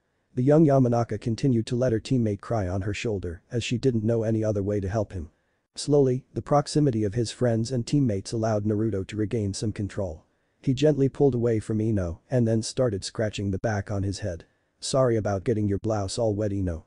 The blonde Kunoichi rolled her eyes at her friend's antics. Don't get used to it Naruto. You're not my type. Luckily for Ino, Naruto couldn't see the faint blush that had appeared on her face. Shino chose this moment to step forward. There is no shame in feeling sad Naruto. Miss. Takahashi was a wonderful woman and a good mother to you. It would be distressing if her passing had not affected you so. Naruto looked at his teammates for a few seconds and then gave a small, soft smile. Thanks you too. I really needed a friend after grandpa told me about Kasumi. Ino put her hands on her hips and then playfully shook her head. Well lucky for you Naruto today is a 2 for 1 special. The young Kunoichi they turned to Shino and called out, hey Shino. Let's take Naruto over to Ichiraku's. AM should be helping out her father today if they're staying with the same schedule. Shino nodded his head in agreement. The ramen restaurant was always busy on the days when the Uchiha matriarch took a turn in the kitchen. Keeping Naruto around people in one of his favorite places would be a wise thing to do in this situation. The only thing Shino didn't like was how empty his pocketbook was likely going to be after this was all over. Still, it was only money and this was for his friend's well-being. Team Hiashi was hard at work training in one of the many practice fields of Konoha. Currently, Hiashi and Ino were watching as Shino and Naruto took a turn sparring. Naruto was wielding his bow staff while Shino used a Kusarigama, a sickle with a ball and chain attached. Currently, the boys were working on their skill with their main weapons. Hiashi had his Byakugan activated in order to make sure that neither boy used any chakra to enhance their abilities. Hiashi nodded as Naruto ducked under Shino's swing with the ball and then used his staff to ensnare the chain. Remember to pay very close attention to your teammates' movements Ino. The bow staff is a very useful weapon for a ninja as it grants the user both offensive and defensive abilities in equal measure. The Kusarigama emphasizes offensive action for both its attack and to defend the user. The Kusarigama has a longer range than a staff, but it also is harder to disguise. You will need to think of these issues if you choose to select a personal weapon to augment your abilities. Naruto finished the fight by punching Shino in the head just as Hiashi was finished speaking. The wide-eyed Jonin instructor stood up and looked at the two young shinobi in front of him. Victory for the spar goes to Naruto. However, it would be wise for you in the future Naruto to not punch your opponent like that in a real fight. Had Shino not been forbidden, he could have used the personal contact to transfer his Kikai insects onto you. Such an event would more likely than not result in you joining him in defeat shortly afterward. Still, your technique was good like expected and you handled yourself very well for your current level of training. Hiashi then turned to Shino and gave his critique of the bug wielder's performance. Your performance Shino was proficient as expected. Your execution of standard beginning and intermediate katas with the Kusarigama was exactly as should be done. However, that in and of itself is a problem. Katas are for practicing and switching between moves, they are not meant for fighting. You lapsed into a preset kata three times during your spar. I will admit that you lapse far less than most genins of your skill level with the Kusarigama would, but falling into preset form even once in a life or death match will get you killed. Still, your skill is enough that you can defend yourself from the typical genin with your current abilities. Both boys bowed to their instructor and then gave each other a polite nod. They then put their weapons away in storage seals. Once the weapons were sealed, both boys headed towards their third teammate and their sensei. Naruto turned his head while he was walking and then cheerfully told Shino, so what's the count? I highly doubt you lost count of our win-loss ratio Naruto. Shino calmly stated this without turning to look at his comrade. Seriously Shino, I don't exactly keep track of that sort of stuff. Well, not in my head. I've got a scorecard back home, but it's not like I can just summon it to me now. It did not surprise Shino at all that Naruto had a scorecard. Naruto wasn't a braggart by any stretch of the imagination. His dream for the future might be to become greater than his father, but that was normal for young men. Most likely, Shino figured, Naruto kept a record of his wins and losses to spur himself into doing better in the future. Hiashi spoke after the boys were right in front of him. Training for today is almost over. However, I want each of you to state what your skills are and any new techniques you've learned on your own over the past month. As part of a team, it is imperative that you are aware of exactly what you and your teammates are capable of. Ino, you will start off and then Naruto can speak. Ino nodded her head and began her explanation. As you guys know, I've got decent Taijutsu. My skills with kunai and shuriken are average. I've also been practicing with Senbon needles as I mentioned last month and currently my skill with the needles is higher than my skill with kunai or shuriken. I currently have a lot of skill in basic poisons and have been starting to learn about intermediate level poisons. I also have a decent level of skill in some basic ninjutsus and I'm great with the Shintenshin Jutsu. Naruto then took over from Ino. Okay, I've got good Taijutsu and great Bujutsu. My skill at throwing kunai and shuriken is good but not great. Currently, I'm one of the best seal makers in the village, but that's not saying much as most people barely learn how to make exploding tags and basic storage seals. Currently, I know 4 jutsus besides the academy ones. These are Futon, Daitoppa, Futon, Reppusho, Kaiten, Kikakyu, and Kage Bunshin. Finally, Shino took his turn at explaining his skills. My main skills focus on the use of my Kikai insects. With my allies I am able to attack enemies, defend teammates, and track almost any target I may be called on to track. In addition, I have refined the basic required genin skill set and my Kusarigama training. Hiashi waited a few seconds after Shino finished before he addressed his students again. Today's team training is over. I expect you all to report here promptly at 7 tomorrow morning so that we can receive a mission. The Hyuga clan head then quietly left the training field. Ino sighed and then stated, glad that's over, if sensei had decided to make this an extra long training session, I wouldn't be able to get to the market before closing bell.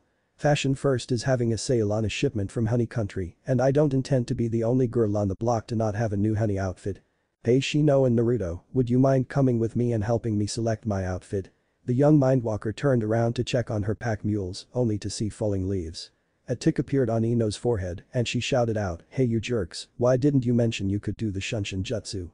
The next day Team Hiashi showed up at the Hokage Tower to receive a mission. Shino and Naruto were both sporting a rather large bump on their heads courtesy of Ino. She had still been steamed that morning over their disappearing act, but the boys thought that it was a bargain price for getting out of shopping with her. They were shinobi, not glorified baggage holders.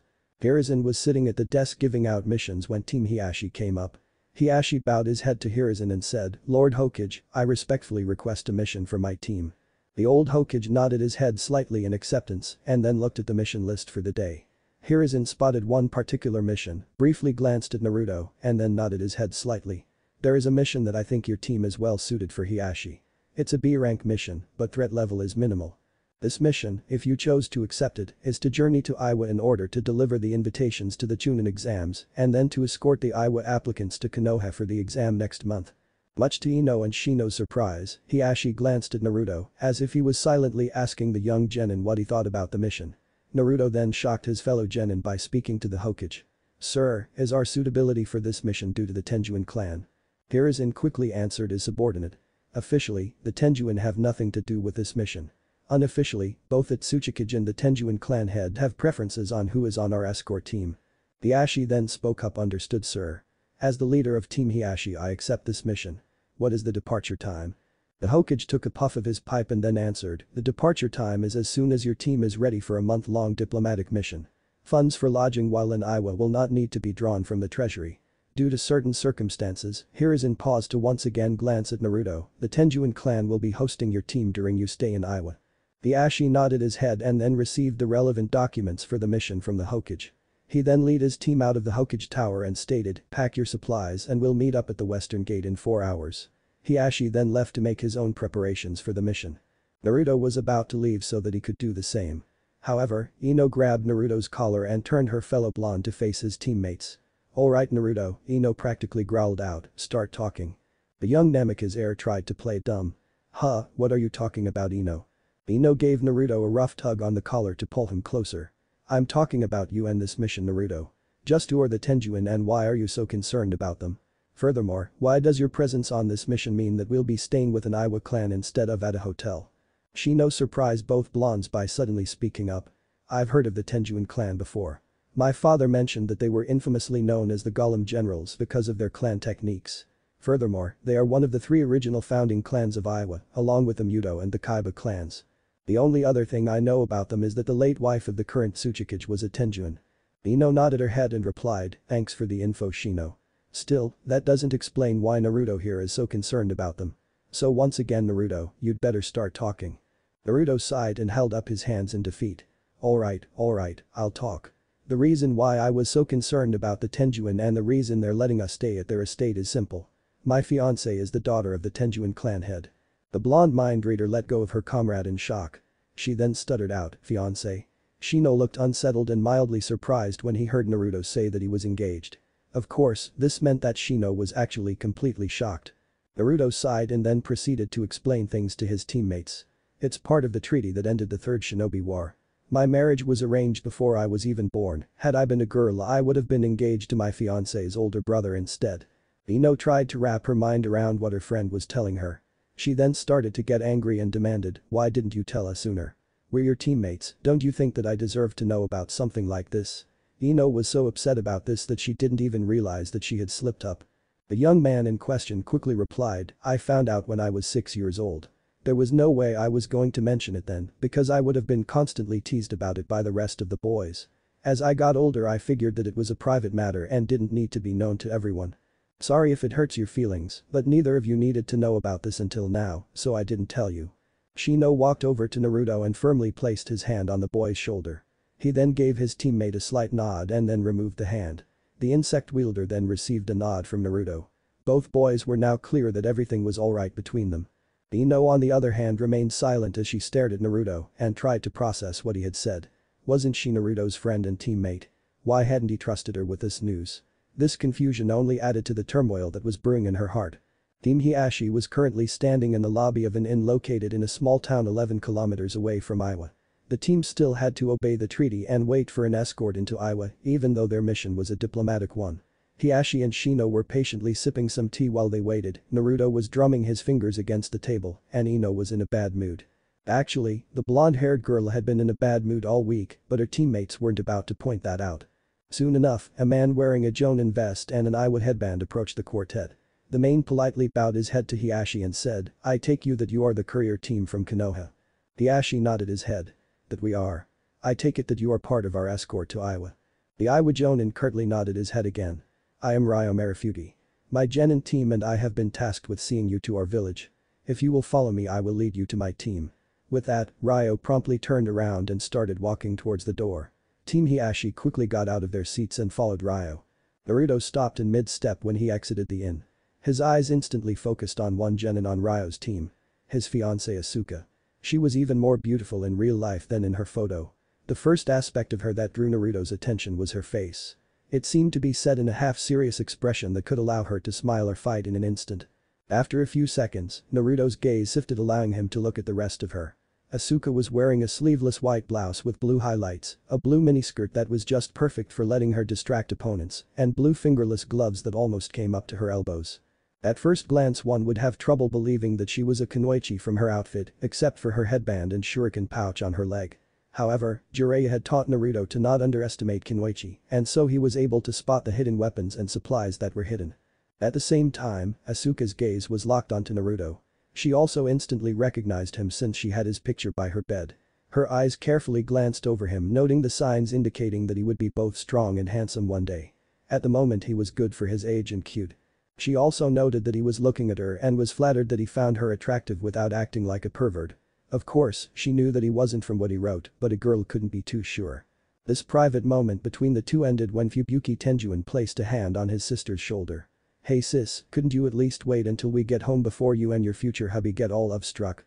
Asuka quickly turned to glare at her joker of a big brother. She would have done more, but Ryo spoke up with a hint of annoyance. As I was saying, these are my Genin students.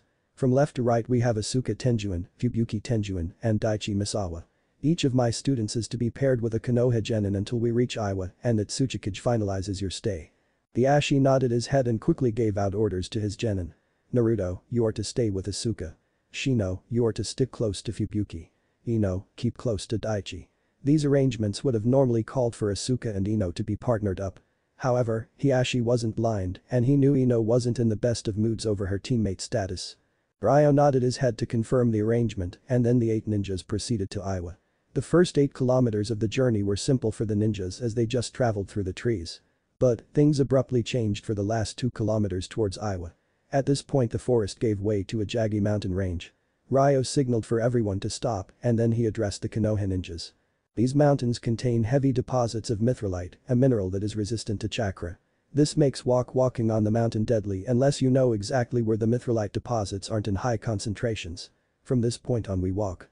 True to Ryo's word, the eight ninjas had to walk the last two kilometers to Iwa over winding paths that were little better than goat trails. The trails served Iwa as the wall around the village did for Konoha. You literally had to walk single file most of the way there or fall off a cliff. Occasionally, there was a watchtower that had to be passed or a drawbridge that one had to go over. Naruto and the other Konoha ninjas had to privately admit that the village hidden in the mountains was in a more defensible position than Konoha was. The trade-off to this was that it must be a horrendous task to keep Iwa properly supplied. Eventually, the eight ninjas completed the treacherous trek to reach Iwa. Ryo's team then promptly lead Team Hiashi to the Tsuchikage Hall to meet with the village's Kage. Inoki was sitting at his desk fighting the bane of all leaders, paperwork, when the eight were let in. The old leader looked up at Ryo and barked, I was expecting you a few minutes ago. Ryo deeply bowed and apologized, I'm terribly sorry sir. However, we were delayed due to the Konoha ninja's unfamiliarity with the paths to our village. Inoki got up on his desk and muttered to himself. Well, I suppose that's a good reason for being late. Don't want foreign ninja knowing their way around these mountains after all. The Tsuchikage then hopped off his desk, straightened out his back, and then turned to Hiashi. Alright you overgrown brat, why are you here? For a split second Hiashi's face betrayed his annoyance before his self-control took over. We were sent to bring Iwa its invitation to the Chunin exams being held in Konoha and to escort your contestants back to Konoha. Hiashi then reached into his jacket, pulled out the invitation, and handed it to Inoki. The old Kage quickly opened the invitation and began to read it. He nodded his head a few times and then threw the document onto his leaning tower of paperwork to do. Inoki then turned around and waved off everyone. I'll have the list of applicants by the end of the week. In the meantime, I'd suggest that you Konoha ninjas stay out of trouble. Asuka and Fubuki, see to it that our village's guests make it safely to your family's manor. Both siblings bowed their heads. Yes uncle, they both said at the same time. Ino immediately did a double take and then glared at Naruto. The other blonde of Team Hiashi simply nodded his head. He then wished he had fainted ignorance because of the promise of pain on Ino's face. Why oh why was she upset with him over this fact? But Tsuchikage had started the engagement clause in the treaty, so was it any surprise that he'd be related to the Iwa party? Neither Tenjuin siblings seemed to pay any attention to the drama occurring in Team Hiashi, as then moved towards the door. They then left the room with the Konoha ninjas following them while their teammates went somewhere else. The six walk through the main streets of Iwa for a while until they reach a set of steps that lead down to a carved plateau. Everyone then passed by several carved arena areas as they made their way to the single tower on the plateau. Fubuki then turned around. Welcome to our not so humble home. We'll just need to check in with father in order to see what wing and floor has been prepared for you all to stay in while you're here. Fubuki then grabbed Naruto into a headlock and whispered, a word of caution for you, my soon-to-be little brother. Father seems to know everything that happens in the house, so it's best for you and sis to be outside if you want to make out. A blush quickly formed on Naruto's face, and then he promptly elbowed Fubuki in the gut. Asuka shook her head in embarrassment at her brother's actions. She then bowed to Hiashi, please forgive my brother's rudeness sir. He's a very competent ninja for his age, but he likes to goof off when not on duty. Let me lead you to my parents. Asuka then quickly lead everyone into the house before Fubuki could embarrass her anymore. The sunset here in Iwa was magnificent. Naruto could privately admit that to himself as he watched as the red and orange hues danced across the mountains. Currently, the young Namikaze was sitting on the balcony ledge attached to his room. If he glanced down and to the right he could just barely spot the window of Shino's room. Unlike his teammates, Naruto's quarters were on the family level instead of the guest level. Naruto turned his head from side of the mountains when he heard the door to his room open.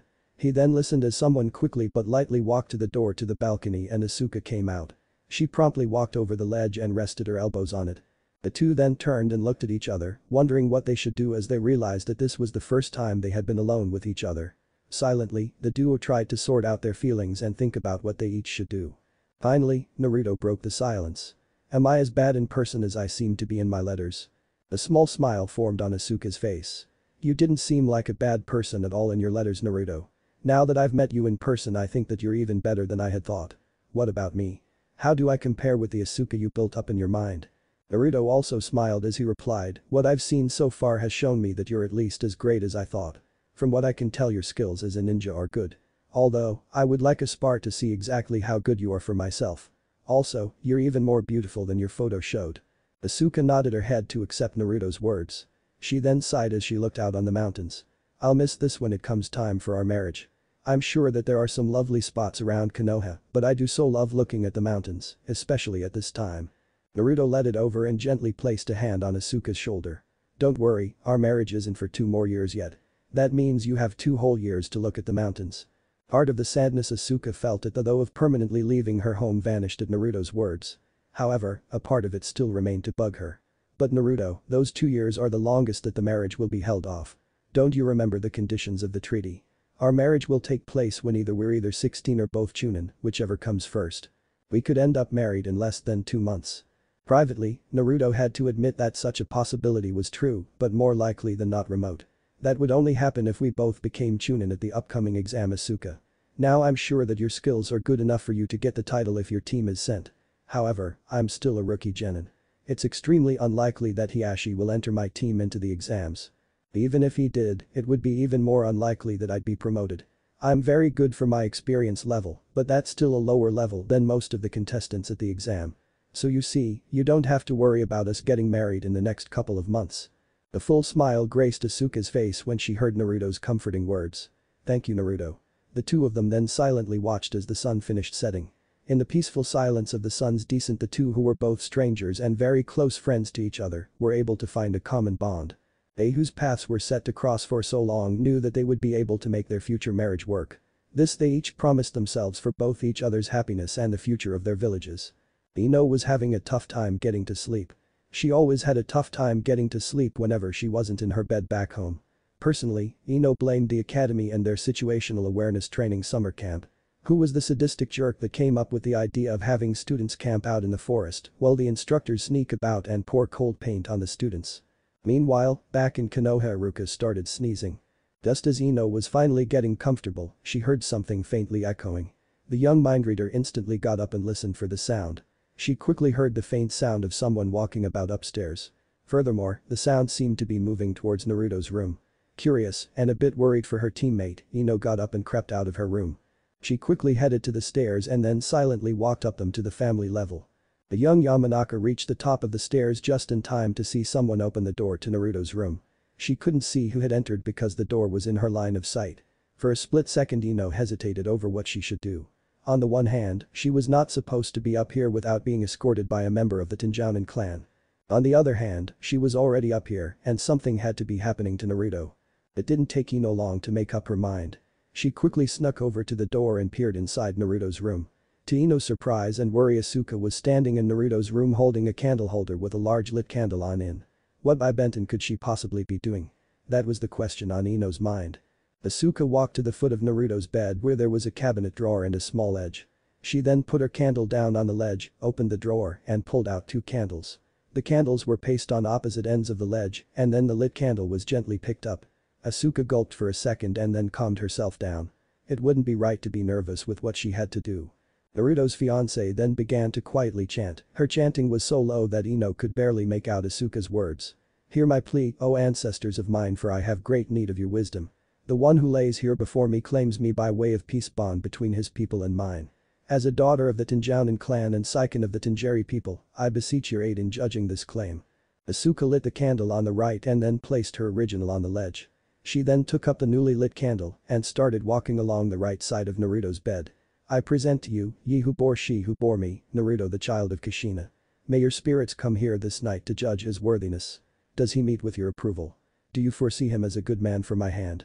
Is his seed fit to be planted in my womb? Should he be trusted with lordship over me? After saying this, Asuka gently placed the candle on the right side of the ledge above Naruto's head and then walked back to the foot of the bed. She then lit the other candle and walked along the left side of Naruto's bed. I present to you, ye who provided for he who provided for me, Naruto the son of Minato. May your spirits come here this night to judge his worthiness. Does he meet with your approval? Do you trust him with the honor of your lineage? Is he capable of providing for me and my young? Should he be given my heart and body? Asuka then placed the candle on the left side of the ledge and headed back to the foot of the bed. Once at the foot of the bed, Asuka picked up her original candle and slowly moved it counterclockwise. Let my ancestors' spirits cast their judgment, O great lord of Yomi. Let my dreams disclose that which they have decided. What they decide I will do. Asuka then placed the candle at the center of the foot ledge, back a few steps away from Naruto's bed, and bowed her head seven times. Ino noticed that Asuka was moving to leave and quickly pressed her back against the wall hiding behind the door. She remained silent as Asuka walked out of Naruto's room and then headed across the room. Asuka then entered her room and closed the door. Ino waited a few minutes for Asuka to stop moving and then snuck back down to her own room. All the while, Ino was wondering what she had just witnessed. Asuka woke up as the first rays of sunlight came through her window and touched her bed. The Tenjuin era sprang up from her pillow with a heavy blush on her cheeks. She quickly got out of bed, grabbed a robe, then picked up a change of clothes and left her room for the manor's main baths. While each bedroom on the family wing had its own bath, they paled in comparison to the main baths. Asuka quickly made use of a private set of stairs that lead from the family level to where the baths were located. This staircase had been built in the original design of the family manor because Asuka's great-grandfather thought it was tacky for the family to have to walk through the guest level to get to the baths. When Asuka opened the door to the women's bath, she found that her mother Kawai was already enjoying the baths. Kawai glanced over to her daughter and smiled, put down your things already Asuka and come on in. The younger Tenjuin smiled and called out, just a second mom.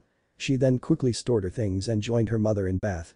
The bath itself was crafted to look like it was a hot spring instead of just being a simple bath. Mother and daughter then quietly proceeded to clean themselves. Towards the end of the bath, Kawai spoke up again. Would you like me to take care of your hair Asuka? Sure mother. Kawai quickly started to wash Asuka's hair. Once she was sure her daughter was relaxed enough, the Tenjuin matriarch spoke up. So daughter, what was the dream your ancestors sent to you about Naruto? What? Mother, how could you just ask that? Asuka couldn't believe that her mother had just done that. Ah Kawai simply smiled and continued to wash her daughter's hair. Oh come now my little Asuka. There's no need to hide what the ancestors showed you. Talking about the vision helps one to understand what one's ancestors are trying to say. It's just the two of us here and I promise not to whisper a word about what your vision held. Asuka thought about what her mother was saying and had to admit that there was some truth to her words. Talking about the vision would help her understand it better. However, did she really want to talk about something like that with her mother? On the other hand, who else was she going to talk to about the vision? Her two friends from the institute were out. They meant well, but those two could be such blabbermouths at times. With a small sigh, Asuka began to talk about her vision. I was in a meadow by the edge of a forest when I spotted a fox being chased by a pack of wolves. The fox kept on playing tricks until the last of the wolves was left unconscious just outside the meadow. I then watched as the fox came into the meadow carrying several rabbits in its mouth. He then led me towards the opening of a burrow. The next thing I can recall is being inside the burrow lying on a soft rug and feeling a warm sense of comfort. Asuka's face quickly turned cherry red as she continued on with the vision. That same fox quickly appeared again only this time he was on me. The, the fox then started licking me and then took me on the rug. She then quietly whispered, I thought I was going to pass out from the pleasure Asuka's voice then returned to her normal volume. Soon afterwards I found myself nursing some kits while the fox lay next to me and occasionally passed me something to eat. To Asuka's shock and surprise, Kawai suddenly picked her up and twirled her around in a circle shouting, oh my little Asuka, I'm so happy for you. The younger Tenjuin woman was blinking her eyes in shock as Kawai set her down. Huh? What do you mean mother? This wasn't the reaction Asuka had been expecting at all. Well, she honestly didn't know how she expected her mother to react, but this definitely wasn't it. Ah, Awai simply grinned and replied, silly girl, don't you realize just how favorably your ancestors look on your match? The fox in your vision obviously is a symbol for your betrothed given his circumstances. Asuka and her parents were the only people in Iwa besides from the Tsuchikage who knew about the Kyuubi. They had been informed given their connection to Naruto by the Tsuchikage himself in private what you saw in the meadow was your forefathers showing that they believe Naruto can deal with threats before they reach home and he has the ability to provide for you. The burrow part of the vision obviously comes from our female ancestors. That part of the vision shows that you'll have a loving home, a good time in the sack, and that Naruto won't mind helping you with any future children you might have. All in all daughter dear, you've gotten yourself a glowing endorsement on Naruto, and that's why I'm so happy for you. What her mother said quickly made sense to Asuka. The vision was a ringing endorsement from her ancestors, and what mother wouldn't want a good endorsement for her daughter's future husband. Asuka quickly bowed her head and said, thank you mother for helping me with understanding the vision. Kawai gave Asuka a brief kiss on the forehead in reply, and then the two finished their bath. Ryuji Tenjuin, head of the Tenjuin clan and a leading candidate to be Onoki's successor, serenely walked towards his clan's training grounds, where Team Hiashi was practicing. Hiashi was having his genin do various calisthenics and cardio exercises. These were very good exercises for ninjas that were in neutral territory and had to worry about any secret techniques being stolen. Hiashi motioned for his students to stop after he felt that they had showed off enough for their host. The Hyuga clan head then turned to face his counterpart and politely nodded his head in respect. Ryuji returned the gesture and then stated, a very fit team you have here sir. Thank you sir, I like to think that they have advanced to an acceptable level for rookie genin. I had expected them to have reached a higher level given the training they've undergone, but their current level is tolerable. Both clan leaders grinned at Hiashi's words and the glares the genin were sending their teacher. What better way was there to motivate someone than to compliment their efforts and then immediately take back the compliment. Ryuji then tilted decided to reveal why he had come to the training grounds. Lord Hyuga, an escort has arrived to bring you to the Tsuchikage. I have been told that this is so he can give you the list of our participants in the upcoming exams. Hiashi nodded his head. Thank you for informing me of this Lord Tenjuin. Is there anything else that I need to be informed about or may I go see the Tsuchikage? The Tenjuin clan head paused for a second and then replied, yes there is. Would you mind if I talk to genin Namikaze in private while you are away? That is acceptable to me. Naruto quickly moved towards Ryuji as Hiashi started to walk towards the Tenjuin estate exit. Both Ino and Shino glanced at their teammate with curious looks in their eyes. Naruto simply grinned at them which caused the duo to resume their training. Ryuji then motioned for Naruto to follow him and the young Namikaze complied. The future father-son-in-law duo started walking towards the wall that lined the cliff edge surrounding the Tenjuin estate. Once they were out of anyone else's earshot, Ryuji stopped walking and looked Naruto in the eye. Ryo Marufuji has nominated his team for the exams and that Tsuchikage has accepted the nomination. I would consider it a personal favor if you would agree to house my children and the rest of their team while they are in Konoha. Naruto quickly nodded his head and replied, no problem. As far as I'm concerned, the entire Tenjuin clan has a permanent invitation to stay with me while visiting Konoha. Naruto then frowned and put his hand under his chin. Ryuji, why did you pull me over like this? I mean, you could have simply asked about this invitation in front of my teammates. Ryuji sighed and nodded his head to concede Naruto's point. You are correct Naruto. I wanted to talk to you in private because there are things of a sensitive nature that I have to talk to you about. To be blunt, what will my daughter be in your house? Huh? Why would you need to ask me that? She's to be my wife like you and your uncle agreed to with my father. The frown appeared on Ryuji's face as he analyzed Naruto's reactions. Part of him wanted to take the honest boy at his word. However, the father within him refused to drop this interrogation until he was satisfied. This was his daughter's future happiness that he was checking on after all. In a hardened manner, Ryuji continued his investigation. That agreement is a formality between nations, I desire what will happen between you and my daughter. Are you going honestly accept her as your wife or will she be your wife in name only? Is she going to be a part of your life or merely a stranger staying in the same house? Will she be the mother of your children or will you leave her barren in favor of having children by concubines from your village? It was quite obvious from the shocked look on Naruto's face that he hadn't considered these possibilities. The young genin blurted out, I thought that she'd be my wife like a regular married couple. You know be there for each other and maybe have a few kids one day when we're ready. Where are you getting all of these ideas from? Ryuji smiled and placed a hand on Naruto's shoulder. You don't know how relieved I am to hear you say that Naruto. You weren't considering any of these situations and for that I am truly grateful. A father cannot help but worry about his daughter's happiness. Especially in a situation like you and Asuka are in. I initially agreed to the betrothal because it was a way to help ensure the peace for the land of Earth. However, that did not mean that I was comfortable with this arrangement. I was the one who initially pushed for you and my daughter to become pen pals. This was done because I didn't want my daughter to marry a stranger and I wanted a way to check on what kind of man you were becoming. My preference for your team escorting our Genin for the upcoming Chunin exams was because I wanted to judge who you were in person. That and I wanted to give Asuka the chance to perform the ceremony of ancestral acceptation which I have been told you passed. Still, I had to question you for myself about what kind of marriage Asuka would look forward to having. Naruto nodded his head accepting Ryuji's words. Both Jiraiya and Hiashi had occasionally mentioned that one of the most important responsibilities of a good clan head was looking out for the other members of the clan. So, it was only natural that Asuka's father would be looking out for her. After thinking about everything, Naruto looked up at Ryuji. What would you have done if I didn't meet your expectations?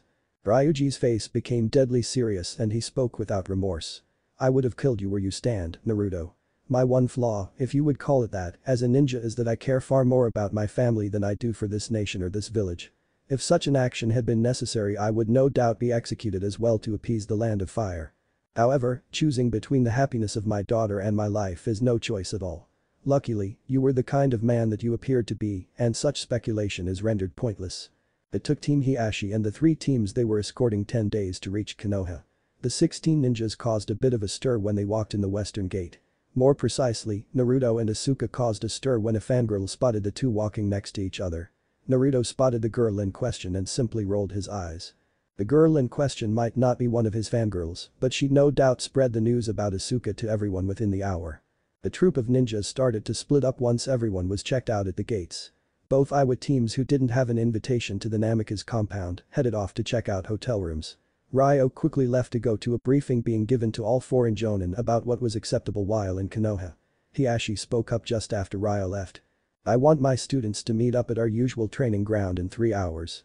I need to inform the Hokage about our mission success and inform him that you three will be given the chance to enter the exams. You'll need to meet me as scheduled in order to receive the permission form to enter. With that said, Hiashi left his three stunned students in the road. Fubuki grinned at the three Konoha genin. Well, well, well, looks like we made the correct call to not show you three what we're capable of. After all, only an idiot shows an adversary what they can do before they fight. Naruto came out of his stupor before his teammates and gave his future brother a pointed look. Only a fool picks a fight when he doesn't have to. Daichi, the last member of Team Ryo, folded his arms across his chest. Are you proposing that we form an alliance during the exam Namikaze? Naruto nodded his head, my godfather has repeatedly told me that part of the exams involves some type of simulated mission. A team of six ninjas would have a higher chance of success against an unknown mission than two separate teams of three ninjas, each doing the same mission. The three Iwa genin looked at each other silently considering Naruto's proposition. Asuka shrugged her shoulders and voiced her opinion. It would give us more manpower to accomplish whatever task we're given. Seeing an opening, Fubuki gave his sister a hug with one arm and replied in a teasing tone. Now, now sissy poo, I fully understand that you want to hang out with your betrothed as much as possible. But, don't you think that this is taking it a little too far? I mean, why should we babysit the greenhorns just so you have some necking time with Naruto? Both Naruto and Asuka's cheeks turned a little pink at Fubuki's not so subtle teasing. The young Namikaze couldn't do anything other than take the teasing, because as far as he could see any other action would only make the situation more embarrassing. Luckily for the duo, Asuka was able to find a more elegant solution to their predicament. She simply elbowed her brother in the stomach and muttered, get a hold of yourself Fubuki. Shino then chose this moment to speak up. Hiashi would not have nominated us to the exams if he wasn't convinced that we meet at least the minimum standards that potential chunin have. Logically, our teaming up would increase both teams' odds of success, especially when you consider that an Iwa Konoha alliance would be unexpected. Itachi nodded his head and turned towards his teammates. The Aburame has a good point. Teaming up with them would be in our best interests. At least, it would be during the mock mission portion of the exam. Fubuki nodded his head and walked towards Naruto. He then put his hand out. So it's agreed that our teams will be allies until we have to face each other in the exam. Ino and Shino quickly glanced at Naruto and nodded their heads. With their acceptance, Naruto took Fubuki's offered hand. Agreed, Team Hiashi and Team Ryo are now allies in the Chunin exams. Hiruzen Sarutobi was calmly sitting in his office enjoying a rare break when the door opened. The Hokage then watched as Itachi Uchiha walked into the room with a very concerned expression on his firm face. Itachi walked over to Hiruzen and politely nodded his head. Sir, I've just gotten back from briefing the foreign jonin and I must state that I have some concerns. The old leader took a puff from his pipe and then set the pipe down. What are your concerns Itachi?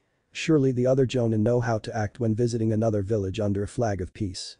While Hiruzen's outward appearance was calm, he was worried on the inside. Itachi was one of, if not the best Jonin currently serving Konoha. Any concerns he might have about the village's security deserved the utmost consideration. Itachi put his hand on Hiruzen's desk and activated the strongest hidden security seal in the office that Jonins were allowed to know about. We have two foreign Jinchuriki inside the village at this very moment. One is the Hachibi's container who is a Jonin instructor for one of Kumo's two teams in the exams. The other is the Ichibi's container who is a member of Suna's team. Were you aware of their presence within the village? Hiruzen nodded his head and replied, I've been aware of both containers' identities since before the Kazekage, and Raikage informed me who their participants in this period's Chunin exams were. It was rather rude of Suna to not inform me that their Jinchuriki would be arriving as per the Hashirama Accord, but they might not have felt the need, since they have never hidden who their container is. As long as they do not break any laws I see no reason to worry about their presence in the village any farther than the standard caution given when a powerful foreign ninja is around. The Uchiha clan leader nodded his head accepting Hiruzen's reasoning on the presence of the Jinchuriki. However, there was something that didn't sit well with Itachi on this whole issue. Why weren't we informed about their presence prior to the nomination of the genin? The nature of the test changes in intensity when a container is involved as is the case of the Ichibi. A somber expression formed on Hiruzen's face as he answered Itachi. Does it change Itachi? You know as a commander that you will often have to make tough decisions without having every scrap of information on a situation. Your soldiers in the field will discover information in the field that will change how the mission is to be carried out and they will have to adapt. Adaptability and dealing with the unknown are two essential elements of being a ninja. I withheld this information in order to give our hopeful Chunin a chance to truly learn this lesson in a situation that we can control. Furthermore, they'll be learning these lessons in a situation that provides an extraction for them to proper medical facilities if things go sour. Hiruzen then got out of his chair and walked over to where Itachi was standing. The old Hokage picked up his pipe and then simply stated, follow me. Hiruzen then walked out of his office with the pipe in his mouth and Itachi in tow. The young clan head wondered why his liege wanted him to follow, but he did it silently. Hiruzen led Itachi out of the Hokage tower and through the streets of Konoha. Itachi watched as Hiruzen would occasionally stop at a store and greet the owner or say hello to someone in the street. It took the duo almost an hour to make their way through Konoha to the spot Hiruzen was leading them towards. To Itachi's surprise, Hiruzen had brought the duo to entrance of Rotten Brambles. Rotten Brambles was originally the location of Danzo's Ne headquarters and had been turned into a garbage dump after the traitor's execution. Hiruzen glanced over at his companion whose confusion for being here was obvious, even with how well schooled Itachi's face was. No doubt you are wondering why I have brought you to this place and why I did so by such an indirect route. Itachi blinked his eyes once and then nodded his head. Such thoughts were in my mind. I do not doubt for a moment that you had a reason for doing this. However, I cannot find the key to solve this puzzle. Might I ask what I have failed to notice? A small smile appeared on the old leader's face when he heard Itachi's question. You don't know how much it pleases me Itachi that you recognize when something is outside your abilities and that you are willing to ask for aid.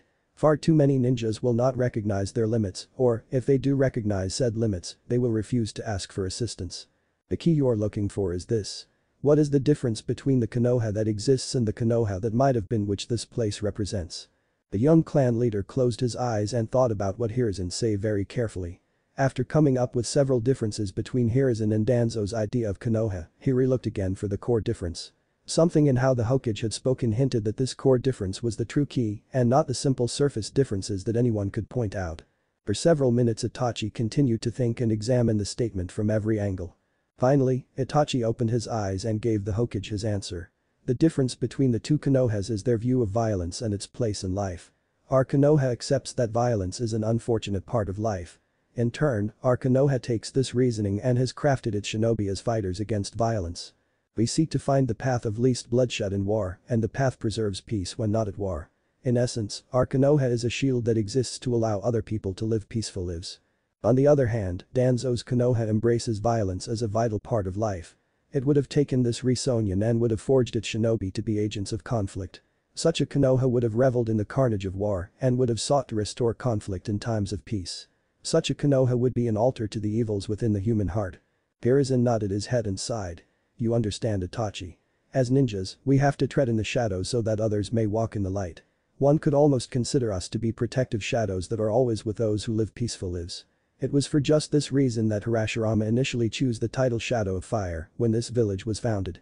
It was the daimyo of that time that altered the title Hokage, but the essence of the title's meaning has stayed the same. However, as shadows we risk straying too far from the light and becoming lost within the darkness that we deal with. Danzo and I were once very much alike when we were your age Itachi. Unfortunately, Danzo started to slip into the darkness of violence when the Nidaime died. His inability to harmonize himself with his emotions lead to him losing the chance to become the Sandaime Hokage and in turn lead him to squashing his emotions. Such an act made it easy for Danzo to become a monster because emotions are our tether to the light. We must feel remorse of the lives we extinguish, regret when a subordinate dies or is injured by our orders, joy when comrades return home safely from a dangerous mission, and rage when a close friend is killed. To do otherwise is unnatural and makes us less than human. Itachi nodded his head. I understand sir. If anyone in the village understood what Hiruzen was trying to get across, it was Itachi. The young Jonin had experienced the full gambit of emotions that a ninja would experience and had gone through missions that would have torn lesser men to shreds. Actually, Itachi was pretty sure that he would have been an emotional wreck if it hadn't been for his wife. Ayame had helped him cope and overcome the pains in his life by being a caring heart, an understanding ear, and sometimes just by letting him forget the pain in a frenzy coupling. Itachi knew he had gotten a lucky break when he married her, and he knew it was all because Naruto had once taken him there for lunch when he had been guarding the Namikaze heir. The Hokage accepted Itachi's response and quietly pulled out a necklace with a small orange crystal. Hiruzen gently placed the necklace in his hand and then offered it to Itachi. This is the Yuzu necklace. It is the companion necklace to the Hokage necklace that is in Tsunade's possession. Both were made by the Uzumaki clan when Mito Uzumaki married Hashirama Senju. Lady Mito gave this necklace to Tobirama as a symbol that he was Hashirama's second. Tobirama in turn passed this necklace on to me after he became Hokage. I've handed this necklace out twice before to men who I deemed worthy of being my second. The first was Sakumo Hatake who returned the necklace to me when he felt that disgrace made him unworthy of the position it signified. The second person I gave this necklace to was Minato Namikaze. I now offer this to you and the position it signifies. Do you accept Itachi Uchiha the responsibilities of being the shadow heir? Itachi looked like an Akimichi had hit him with their fist while they were using their Baika Jutsu. He, become the shadow heir. The irony of the situation was far too bittersweet for Itachi. His great-grandfather Madara had become a traitor because he had been the position of Hokage and had not even been considered for the post of shadow heir. His father had planned a coup because he had never received either position and had felt that a Senju flunky would always deny the Uchihas their rightful due. It was known throughout the village that Hiruzen's old teammates disliked if not downright detested the Uchiha clan. And yet, here he was being offered this position.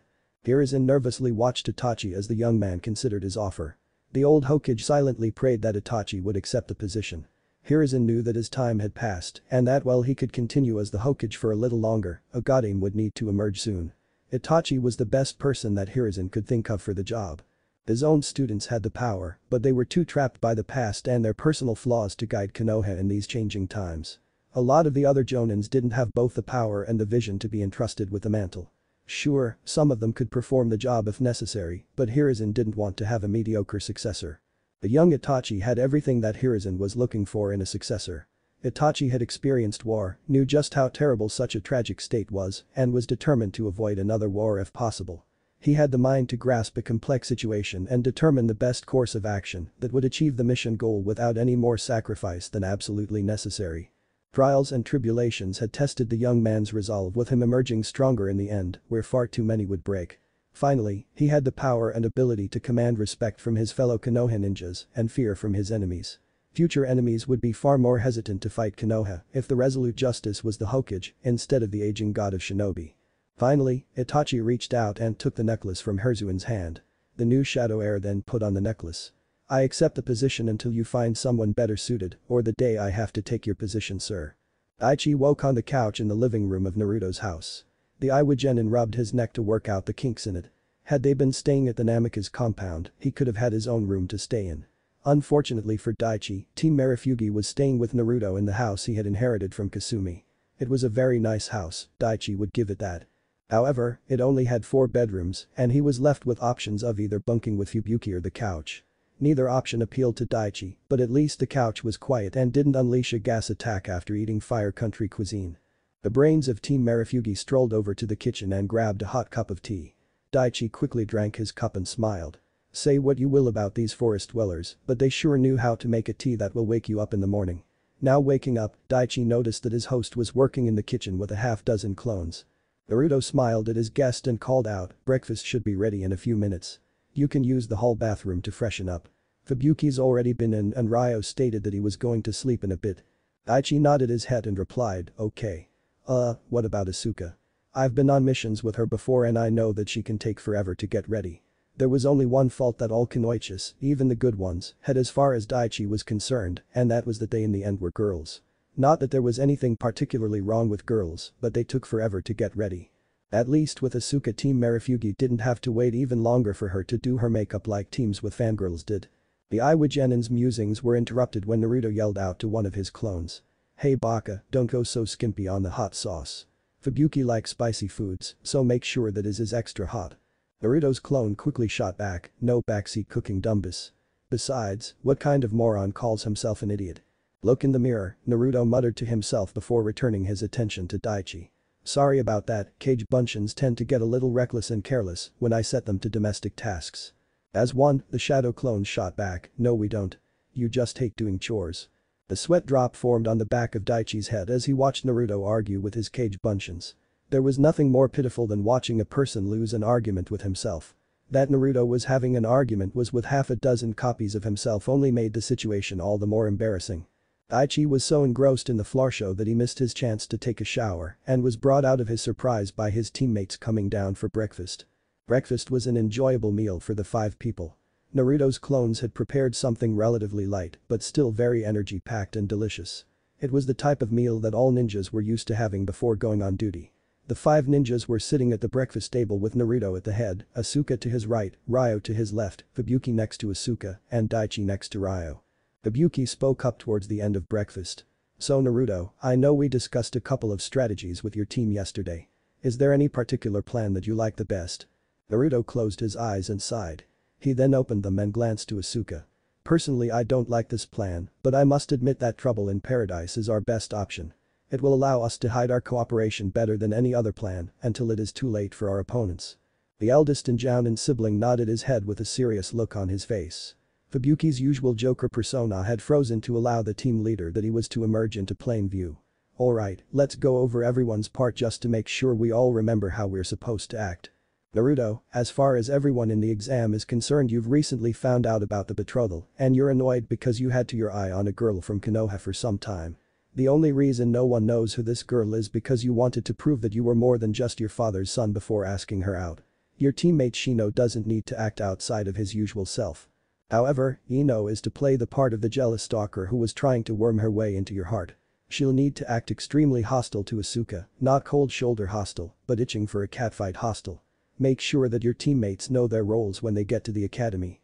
After Naruto nodded his head, Fubuki continued on stating what roles Team Marufuji needed to play. Asuka is to assume an ice bitch persona. As far as her role is concerned, Naruto is nothing more than an annoyance that she'll have to put up with. My role is that of the honor-obsessive big brother. I will be constantly harping on you two for needing to stay together and fulfill the duties of the treaty. With my part, the fact that your parts hate their current situation is immaterial. Daichi, your role is to play the bitter comrade. While not in love with Asuka's character, your persona will be furious that the butcher's son has carried off a scion of a noble Iwa clan as a war trophy. Does everyone understand their roles? Team Hiashi met up at their usual training ground and then headed towards the academy. Along the way, Naruto briefed his teammates on their roles in Trouble in Paradise. Naruto paused when the trio got to the academy and he muttered to himself, okay. Let's get this show on the road. The Ashi students calmly made their way to the third floor, ignoring the faint genjutsu on the entrance to the second floor. Whoever got caught by that lame genjutsu should be sent back to the academy to learn how to be a ninja. It didn't even make you feel like you had gone up a second flight of stairs. The trio walked onto the third floor with Naruto a step ahead of his teammates. Ino was positioned to Naruto's right and Shino was walking by Naruto's left. To the team's surprise, their sensei was standing in front of the exam room calmly waiting for them. Hiashi glanced at his students and nodded his head. It's good that all three of you are here as otherwise none of you could proceed with the test. I expect each and every one of you to bring honor to Konoha and your clans today with your progress in these tests. But that said Hiashi let his team pass and left for the teacher's lounge that had been reserved for the Jonin teachers. The trio entered the waiting room and quickly noticed that they were one of the early arrivals. They then watched as a new team would arrive every couple of minutes. Suddenly, a host of teams started pouring through the door muttering about a genjutsu. Ino looked at the arriving ninjas and shook her head. I guess someone must have blabbed about the illusion cast on the second floor. Both Shino and Naruto nodded their heads. Shino then stated, it is likely that someone cancelled the illusion in order to showcase their abilities. Whoever did so is probably a green genin who is insecure about his or her abilities and was trying to enhance their self-image by making these ninjas look like fools. Such a ninja is most probably a minimal threat to us. Likewise, the ninjas in this current batch are likely to be less ready to become Chunin than we were anticipating for our competition. As if to prove Shino's point, Team Hiashi heard Shikamaru grumbling. Why do you always have to be so troublesome Sasuke? Things would have been so much simpler for us if you hadn't made the announcement about the Genjutsu. Now we have more competitors to deal with. Kiba added his own two cents before Sasu could respond. Oh shut up you lazy bum. So the jerk got us more competitors to trounce, I don't see what your problem is with this situation. Naruto quickly glanced at his teammates and whispered to them. I think it would be a good idea for us to move to another location. We wouldn't want Kiba's mouth to bring undue attention on us now would we? Unfortunately for Team Hiashi, Kiba had already spotted them. The rambunctious Inuzuka quickly led his comrades over and called out, hey Naruto. How's it hanging man? Can you believe that we're in the Chunin exams? Ino glanced at Naruto and motioned with her head towards Kiba. You were friends with this fleabag back in the academy. She then turned to Sasuke and Shikamaru. How do you put up with this smelly loudmouth? It must be terrible when you try to hide and have him giving away your location from a click away. Suddenly a new voice cut into the conversation. Shikamaru was talking to me the other day. He said that Kiba's been scheduled to have the problem fixed as soon as their sensei finds the time. The six rookies turned their heads to look at Choji, who was being followed by his teammates Sakura and Hinata. Kiba gave Choji a dark glare and muttered, that was cold man. The nine former classmates quickly started catching up with each other. While a few had hung out with each other, the nine hadn't been in one place together since their team assignments back in the academy. Naruto used the greetings to discreetly signal to Team Marufuji that it was time for the show to begin. He then began to glare at his fiance's team and falling into part. Hinata noticed the unusual anger in her crush's face and meekly spoke up. Um Naruto, is everything alright? Naruto glanced at Hinata and gave her a weak smile. Things are tolerable. Let's leave it at that shall we? The Hyuga heiress didn't have time to respond because a new voice cut into the Nine's conversations. Would you rookies please settle down? You're drawing too much attention to yourselves. As a fellow leaf ninja, let me assure you that attention is never a good thing. Everyone turned to look at the older Konoha ninja who had silver hair, round glasses, and was walking towards them. Sasuke gave the older ninja a distant look and said, just who are you to be telling us what to do? The older genin smiled and smoothly replied, my name is Kabuto Yakushi and I have participated in these exams several times. Shikamaru looked at Kabuto and asked, exactly how many times is several times? A slightly sheepish look came over Kabuto's face as he answered Shikamaru's question. This is actually my seventh time in the exams. You see, these exams test both your own skill and the skill of your teammates as you work with them to pass all of the exams. I failed my first three times because I focused too much on my medical studies and thus couldn't meet all of the requirements of the exam. My failures the last three times were because one of my teammates wasn't ready for the exam. Alas, that happens when you get moved onto new teams because your colleagues are more gifted than you. Naruto then decided to speak up. So Kabuto, what do you think your chances of passing this year are? Kabuto smiled at Naruto and promptly replied to the friendly question, pretty good actually. Both of my teammates have the skills needed to pass and we work together very well. Bearing rotten luck, we all should finally get those Chunin jackets. Besides, Kabuto paused for a second to pull out a pack of cards, this time around I've got these. They're info cards that I've created from gathering as much data as I could on my competition. With these I'll know vital information on my opponents and be able to plan a strategy to defeat them. The older Genin smiled and then replied, tell you what. I'm in a good mood this time around, so I'll let each of you pick one ninja here and I'll share what I've gathered on the person. Consider it a little extra leverage between comrades. After all, we wouldn't want these foreign ninjas to show us up in our own village, now would we? Hinata quickly spoke up, would you mind telling us what your card says on Naruto? The Hyuga heiress quickly noticed that several of her former classmates were throwing her some odd looks. She then quickly and politely defended her actions. I wanted to see how well Yakushi's information was. The Budo shrugged his shoulders and quickly replied, that's perfectly understandable ma'am. Now, where did I? Ah, here's Naruto's card. Let's take a look shall we? Name? Naruto Namikaze. Age? 14.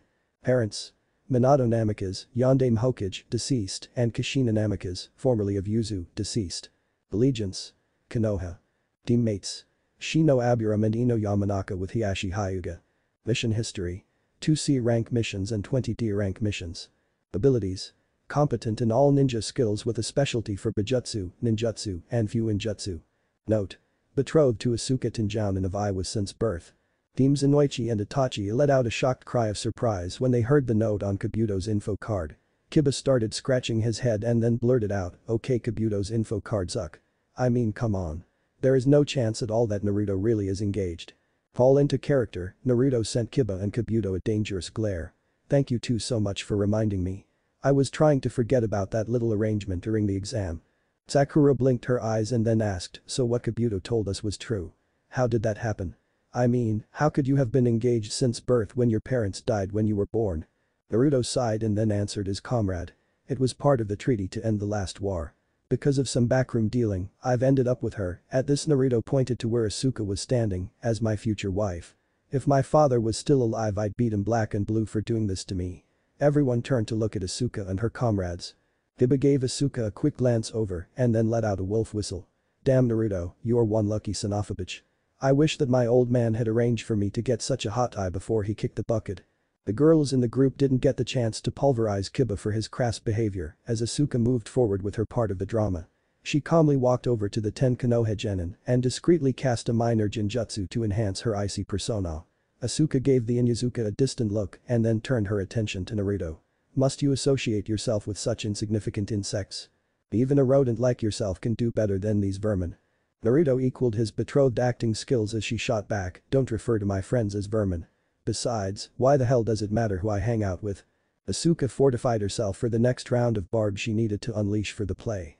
She scoffed at Naruto's reply and shrugged her shoulders. It matters because my uncle was a fool to think that you had something that was worth being tied to my illustrious clan. The shame of having to be associated with you is barely bearable, but associating with trash like this would make the situation intolerable. If you really must continue to associate with these weaklings, then do me a favor and get yourself killed in this exam, so that I will no longer have to put up with this inconvenience. Ibuki's character then stepped foot on the stage by placing a hand firmly on Asuka's shoulder. In a firm voice he commanded, that is enough sister. You are never to speak that way about your betrothed again. Our uncle made this arrangement on behalf of our clan, and you will honor it. The reputation of our clan demands no less than that. With that, the Tenjuin siblings returned to stand by Daichi, feeling that they had accomplished the goal of trouble in paradise. Kiba gave Naruto a mournful look and shook his head. Naruto, I take back everything I just said. What the hell did you do in your past life to merit being shackled to such a bitch? The young Namikaze wasn't able to answer the Inuzuka because a Chunin came into the room and announced that the exams were about to begin. Ibiki Morino had to fight the urge to shake his head in frustration and annoyance.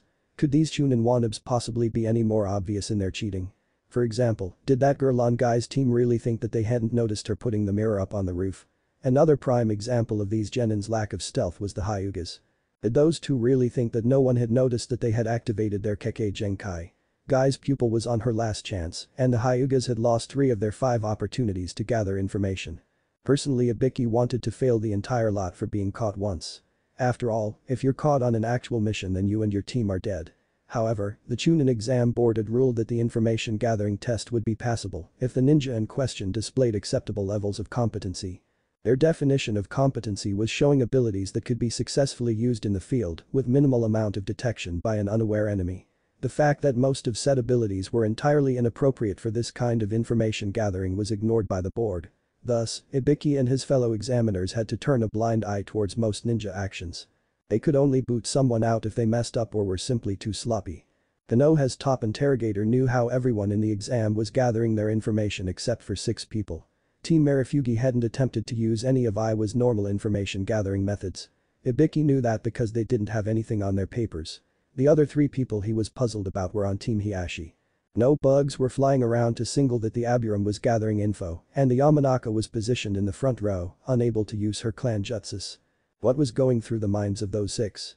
For a moment, Ibiki considered the possibility that they had figured out the hidden loophole in the rules and were just going to pass on raw courage. However, that was a remote possibility as such a move would require them to know about the final part of the test. Why was he worried about what the brats were doing in the first place? After all, it was no skin off his nose if they passed or not. Ibiki felt a headache building as he continued to think of the situation with the six. He could feel in his gut that something was off about the two teams. Why was it that the two teams had a rather heated confrontation in the lobby and now they were acting so much alike? Was it merely coincidence? Ibiki held off a scoff. If it was coincidence then he was the Shodai of the village hidden in absurdity. Suddenly a glint of light caught Ibiki's eyes and directed their attention to Daichi's left arm. The Iwa ninja had the arm lazily hanging by his side with two small wires coming out of his sleeve.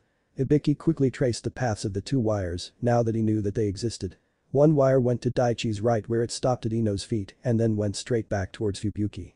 The other wire headed behind Daichi to Naruto and then went to the Namikaze's right to link up with Fubuki. The two wires then headed to Fubuki's right where they came to Shino. From Shino, the wires went down the road to Asuka. Small pulses of chakra were constantly traveling through the wire.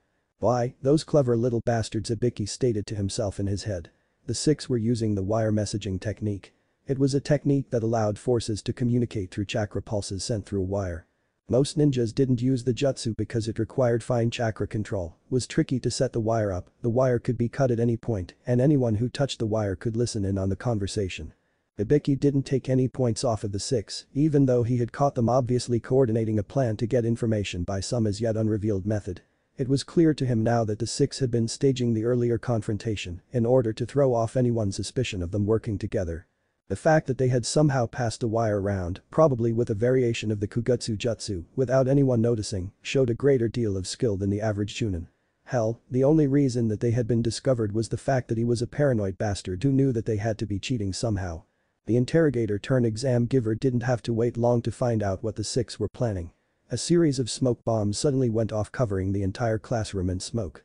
Screams of surprise and indignation filled the rooms as the Genins and Chunins tried to react to this unexpected attack. Ibiki crouched down behind his desk and carefully scanned the classroom. The thick smoke made it hard to see, but he could make out the forms of people standing next to the desks of the Wanabes. It quickly became obvious to Ibiki that the figures were clones of some type, since they all looked like him. His lookalikes were all busy trying to steal everyone's tests, and the students were busy trying to protect their papers. A few of the Chunin observers were about to intercept the clones, but Ibiki signaled them to move back. This was an unexpected situation, and he wanted to see how the Genin would react. Most of the examinees were able to protect their papers, while a couple had their papers stolen. Eventually, all of the clones were destroyed, and Ibiki decided it was time to bring back the fear of the kami into these brats. If I ever find who pulled this catastrophe I'll use them as the new T and I practice dummy. To emphasize this, Ibiki poured all of his killing intent into his sentence, causing several genin to wet themselves in fear. He then glanced at the Chunin examiners and called out, everyone who lost their papers or couldn't hold their bladders is removed from the exam. We don't need ninjas who cannot protect vital documents or remember when to go to the bathroom. Ibiki used the removal of the incompetent as a chance to glance at teams Hiashi and Marufuji. Each of the six ninjas had a complete test with their names on it lying on their desks. Ibiki couldn't help himself and he cracked a small grin as he looked at the six. They had used the commotion of the smoke bombs and clone attack to swap their tests for ones that had the complete answers. What a brilliantly coordinated effort at information gathering. The best part of it was that it pulled off the illusion that their attempt to collect the papers had failed when the clones were destroyed and no one could prove that they did anything. Team Hiashi walked a few feet away from the entrance to training ground 44 and looked around. After checking to make sure that the coast was clear Naruto spoke up. Alright, let's go get our partners. Naruto then pulled out a scroll from his pocket and unrolled it on the ground. His teammates didn't look at the seals written on the inside of the scroll because they knew it was way over their heads. The young Namikaze placed his hand on a hand outline on the scroll and called out, ally summoning technique. Activate. Three columns of smoke popped out of the scroll and then Team Marufuji appeared standing on the scroll. Fubuki scratched the back of his neck and then muttered, man that was weird. I vote that the next time we have to work together that you're the one summoned. Naruto just shook his head. Technically, I didn't summon you three. The seal array on the scroll summoned the tags that I gave you before we left my house. You three simply piggybacked with the tags as they were summoned. But enough of basic Fuinjutsu principles, we've got 5 days to get 2 more scrolls and make it to the tower at the center of the training ground. Daichi, who was holding his team scroll, glanced about at Team Hiashi. He then stated as he stepped off the summoning scroll, we've got heaven. Ino nodded her head and replied, same here. It looks like we'll need two Earth scrolls. Asuka was the last member of her team to step off the scroll and allow Naruto to roll it back up. She then glanced at Shino and stated, am I correct in assuming that you'll be directing us to our first enemy team? Shino nodded his head. I was able to plant a Kikai on all the other teams while Ms. Mitarashi was explaining this test. The nearest target is approximately 100 meters to our right. Naruto merely grinned and spoke up. Well, what are we waiting for? We outnumber them 2 to 1 and we know where they are. All we have to do is ambush them and move on to the next opponent before we head to the tower. The six ninjas quickly followed Shino until they ran into a team from Taki. Both teams were currently hiding in the tree branches, silently watching the Taki ninjas bumble about through the forest. A strong but thin wire connected all six so that they could use the wire messaging technique. Naruto sent out, okay here's our target. What's our plan of attack and it better not be a frontal assault. We need to save our strength in case our next enemy is better than these three. Fubuki quickly responded, that's obvious bro to be. Of course, I doubt that any team could possibly be worse than these three in the field. Asuka entered the conversation. I suggest that I put a genjutsu on them to think that they're under attack. That could direct them to a spot where we can then ambush them. Daichi got on the line. I'll take care of the ambush part. Close quarters is my specialty after all. Naruto nodded his head as he listened to the conversation. Good, that's a very good plan. However, I suggest that we modify it slightly with Ino in a sniper position to take out anyone that Daichi can't easily get to. What poisons do you have on hand Ino? I've got paralysis poisons and some neurotoxins Naruto. Which do you think I should use? The young Namikaze closed his eyes and thought for a second. He then sighed and gave his answer. Better make it the neurotoxin Ino.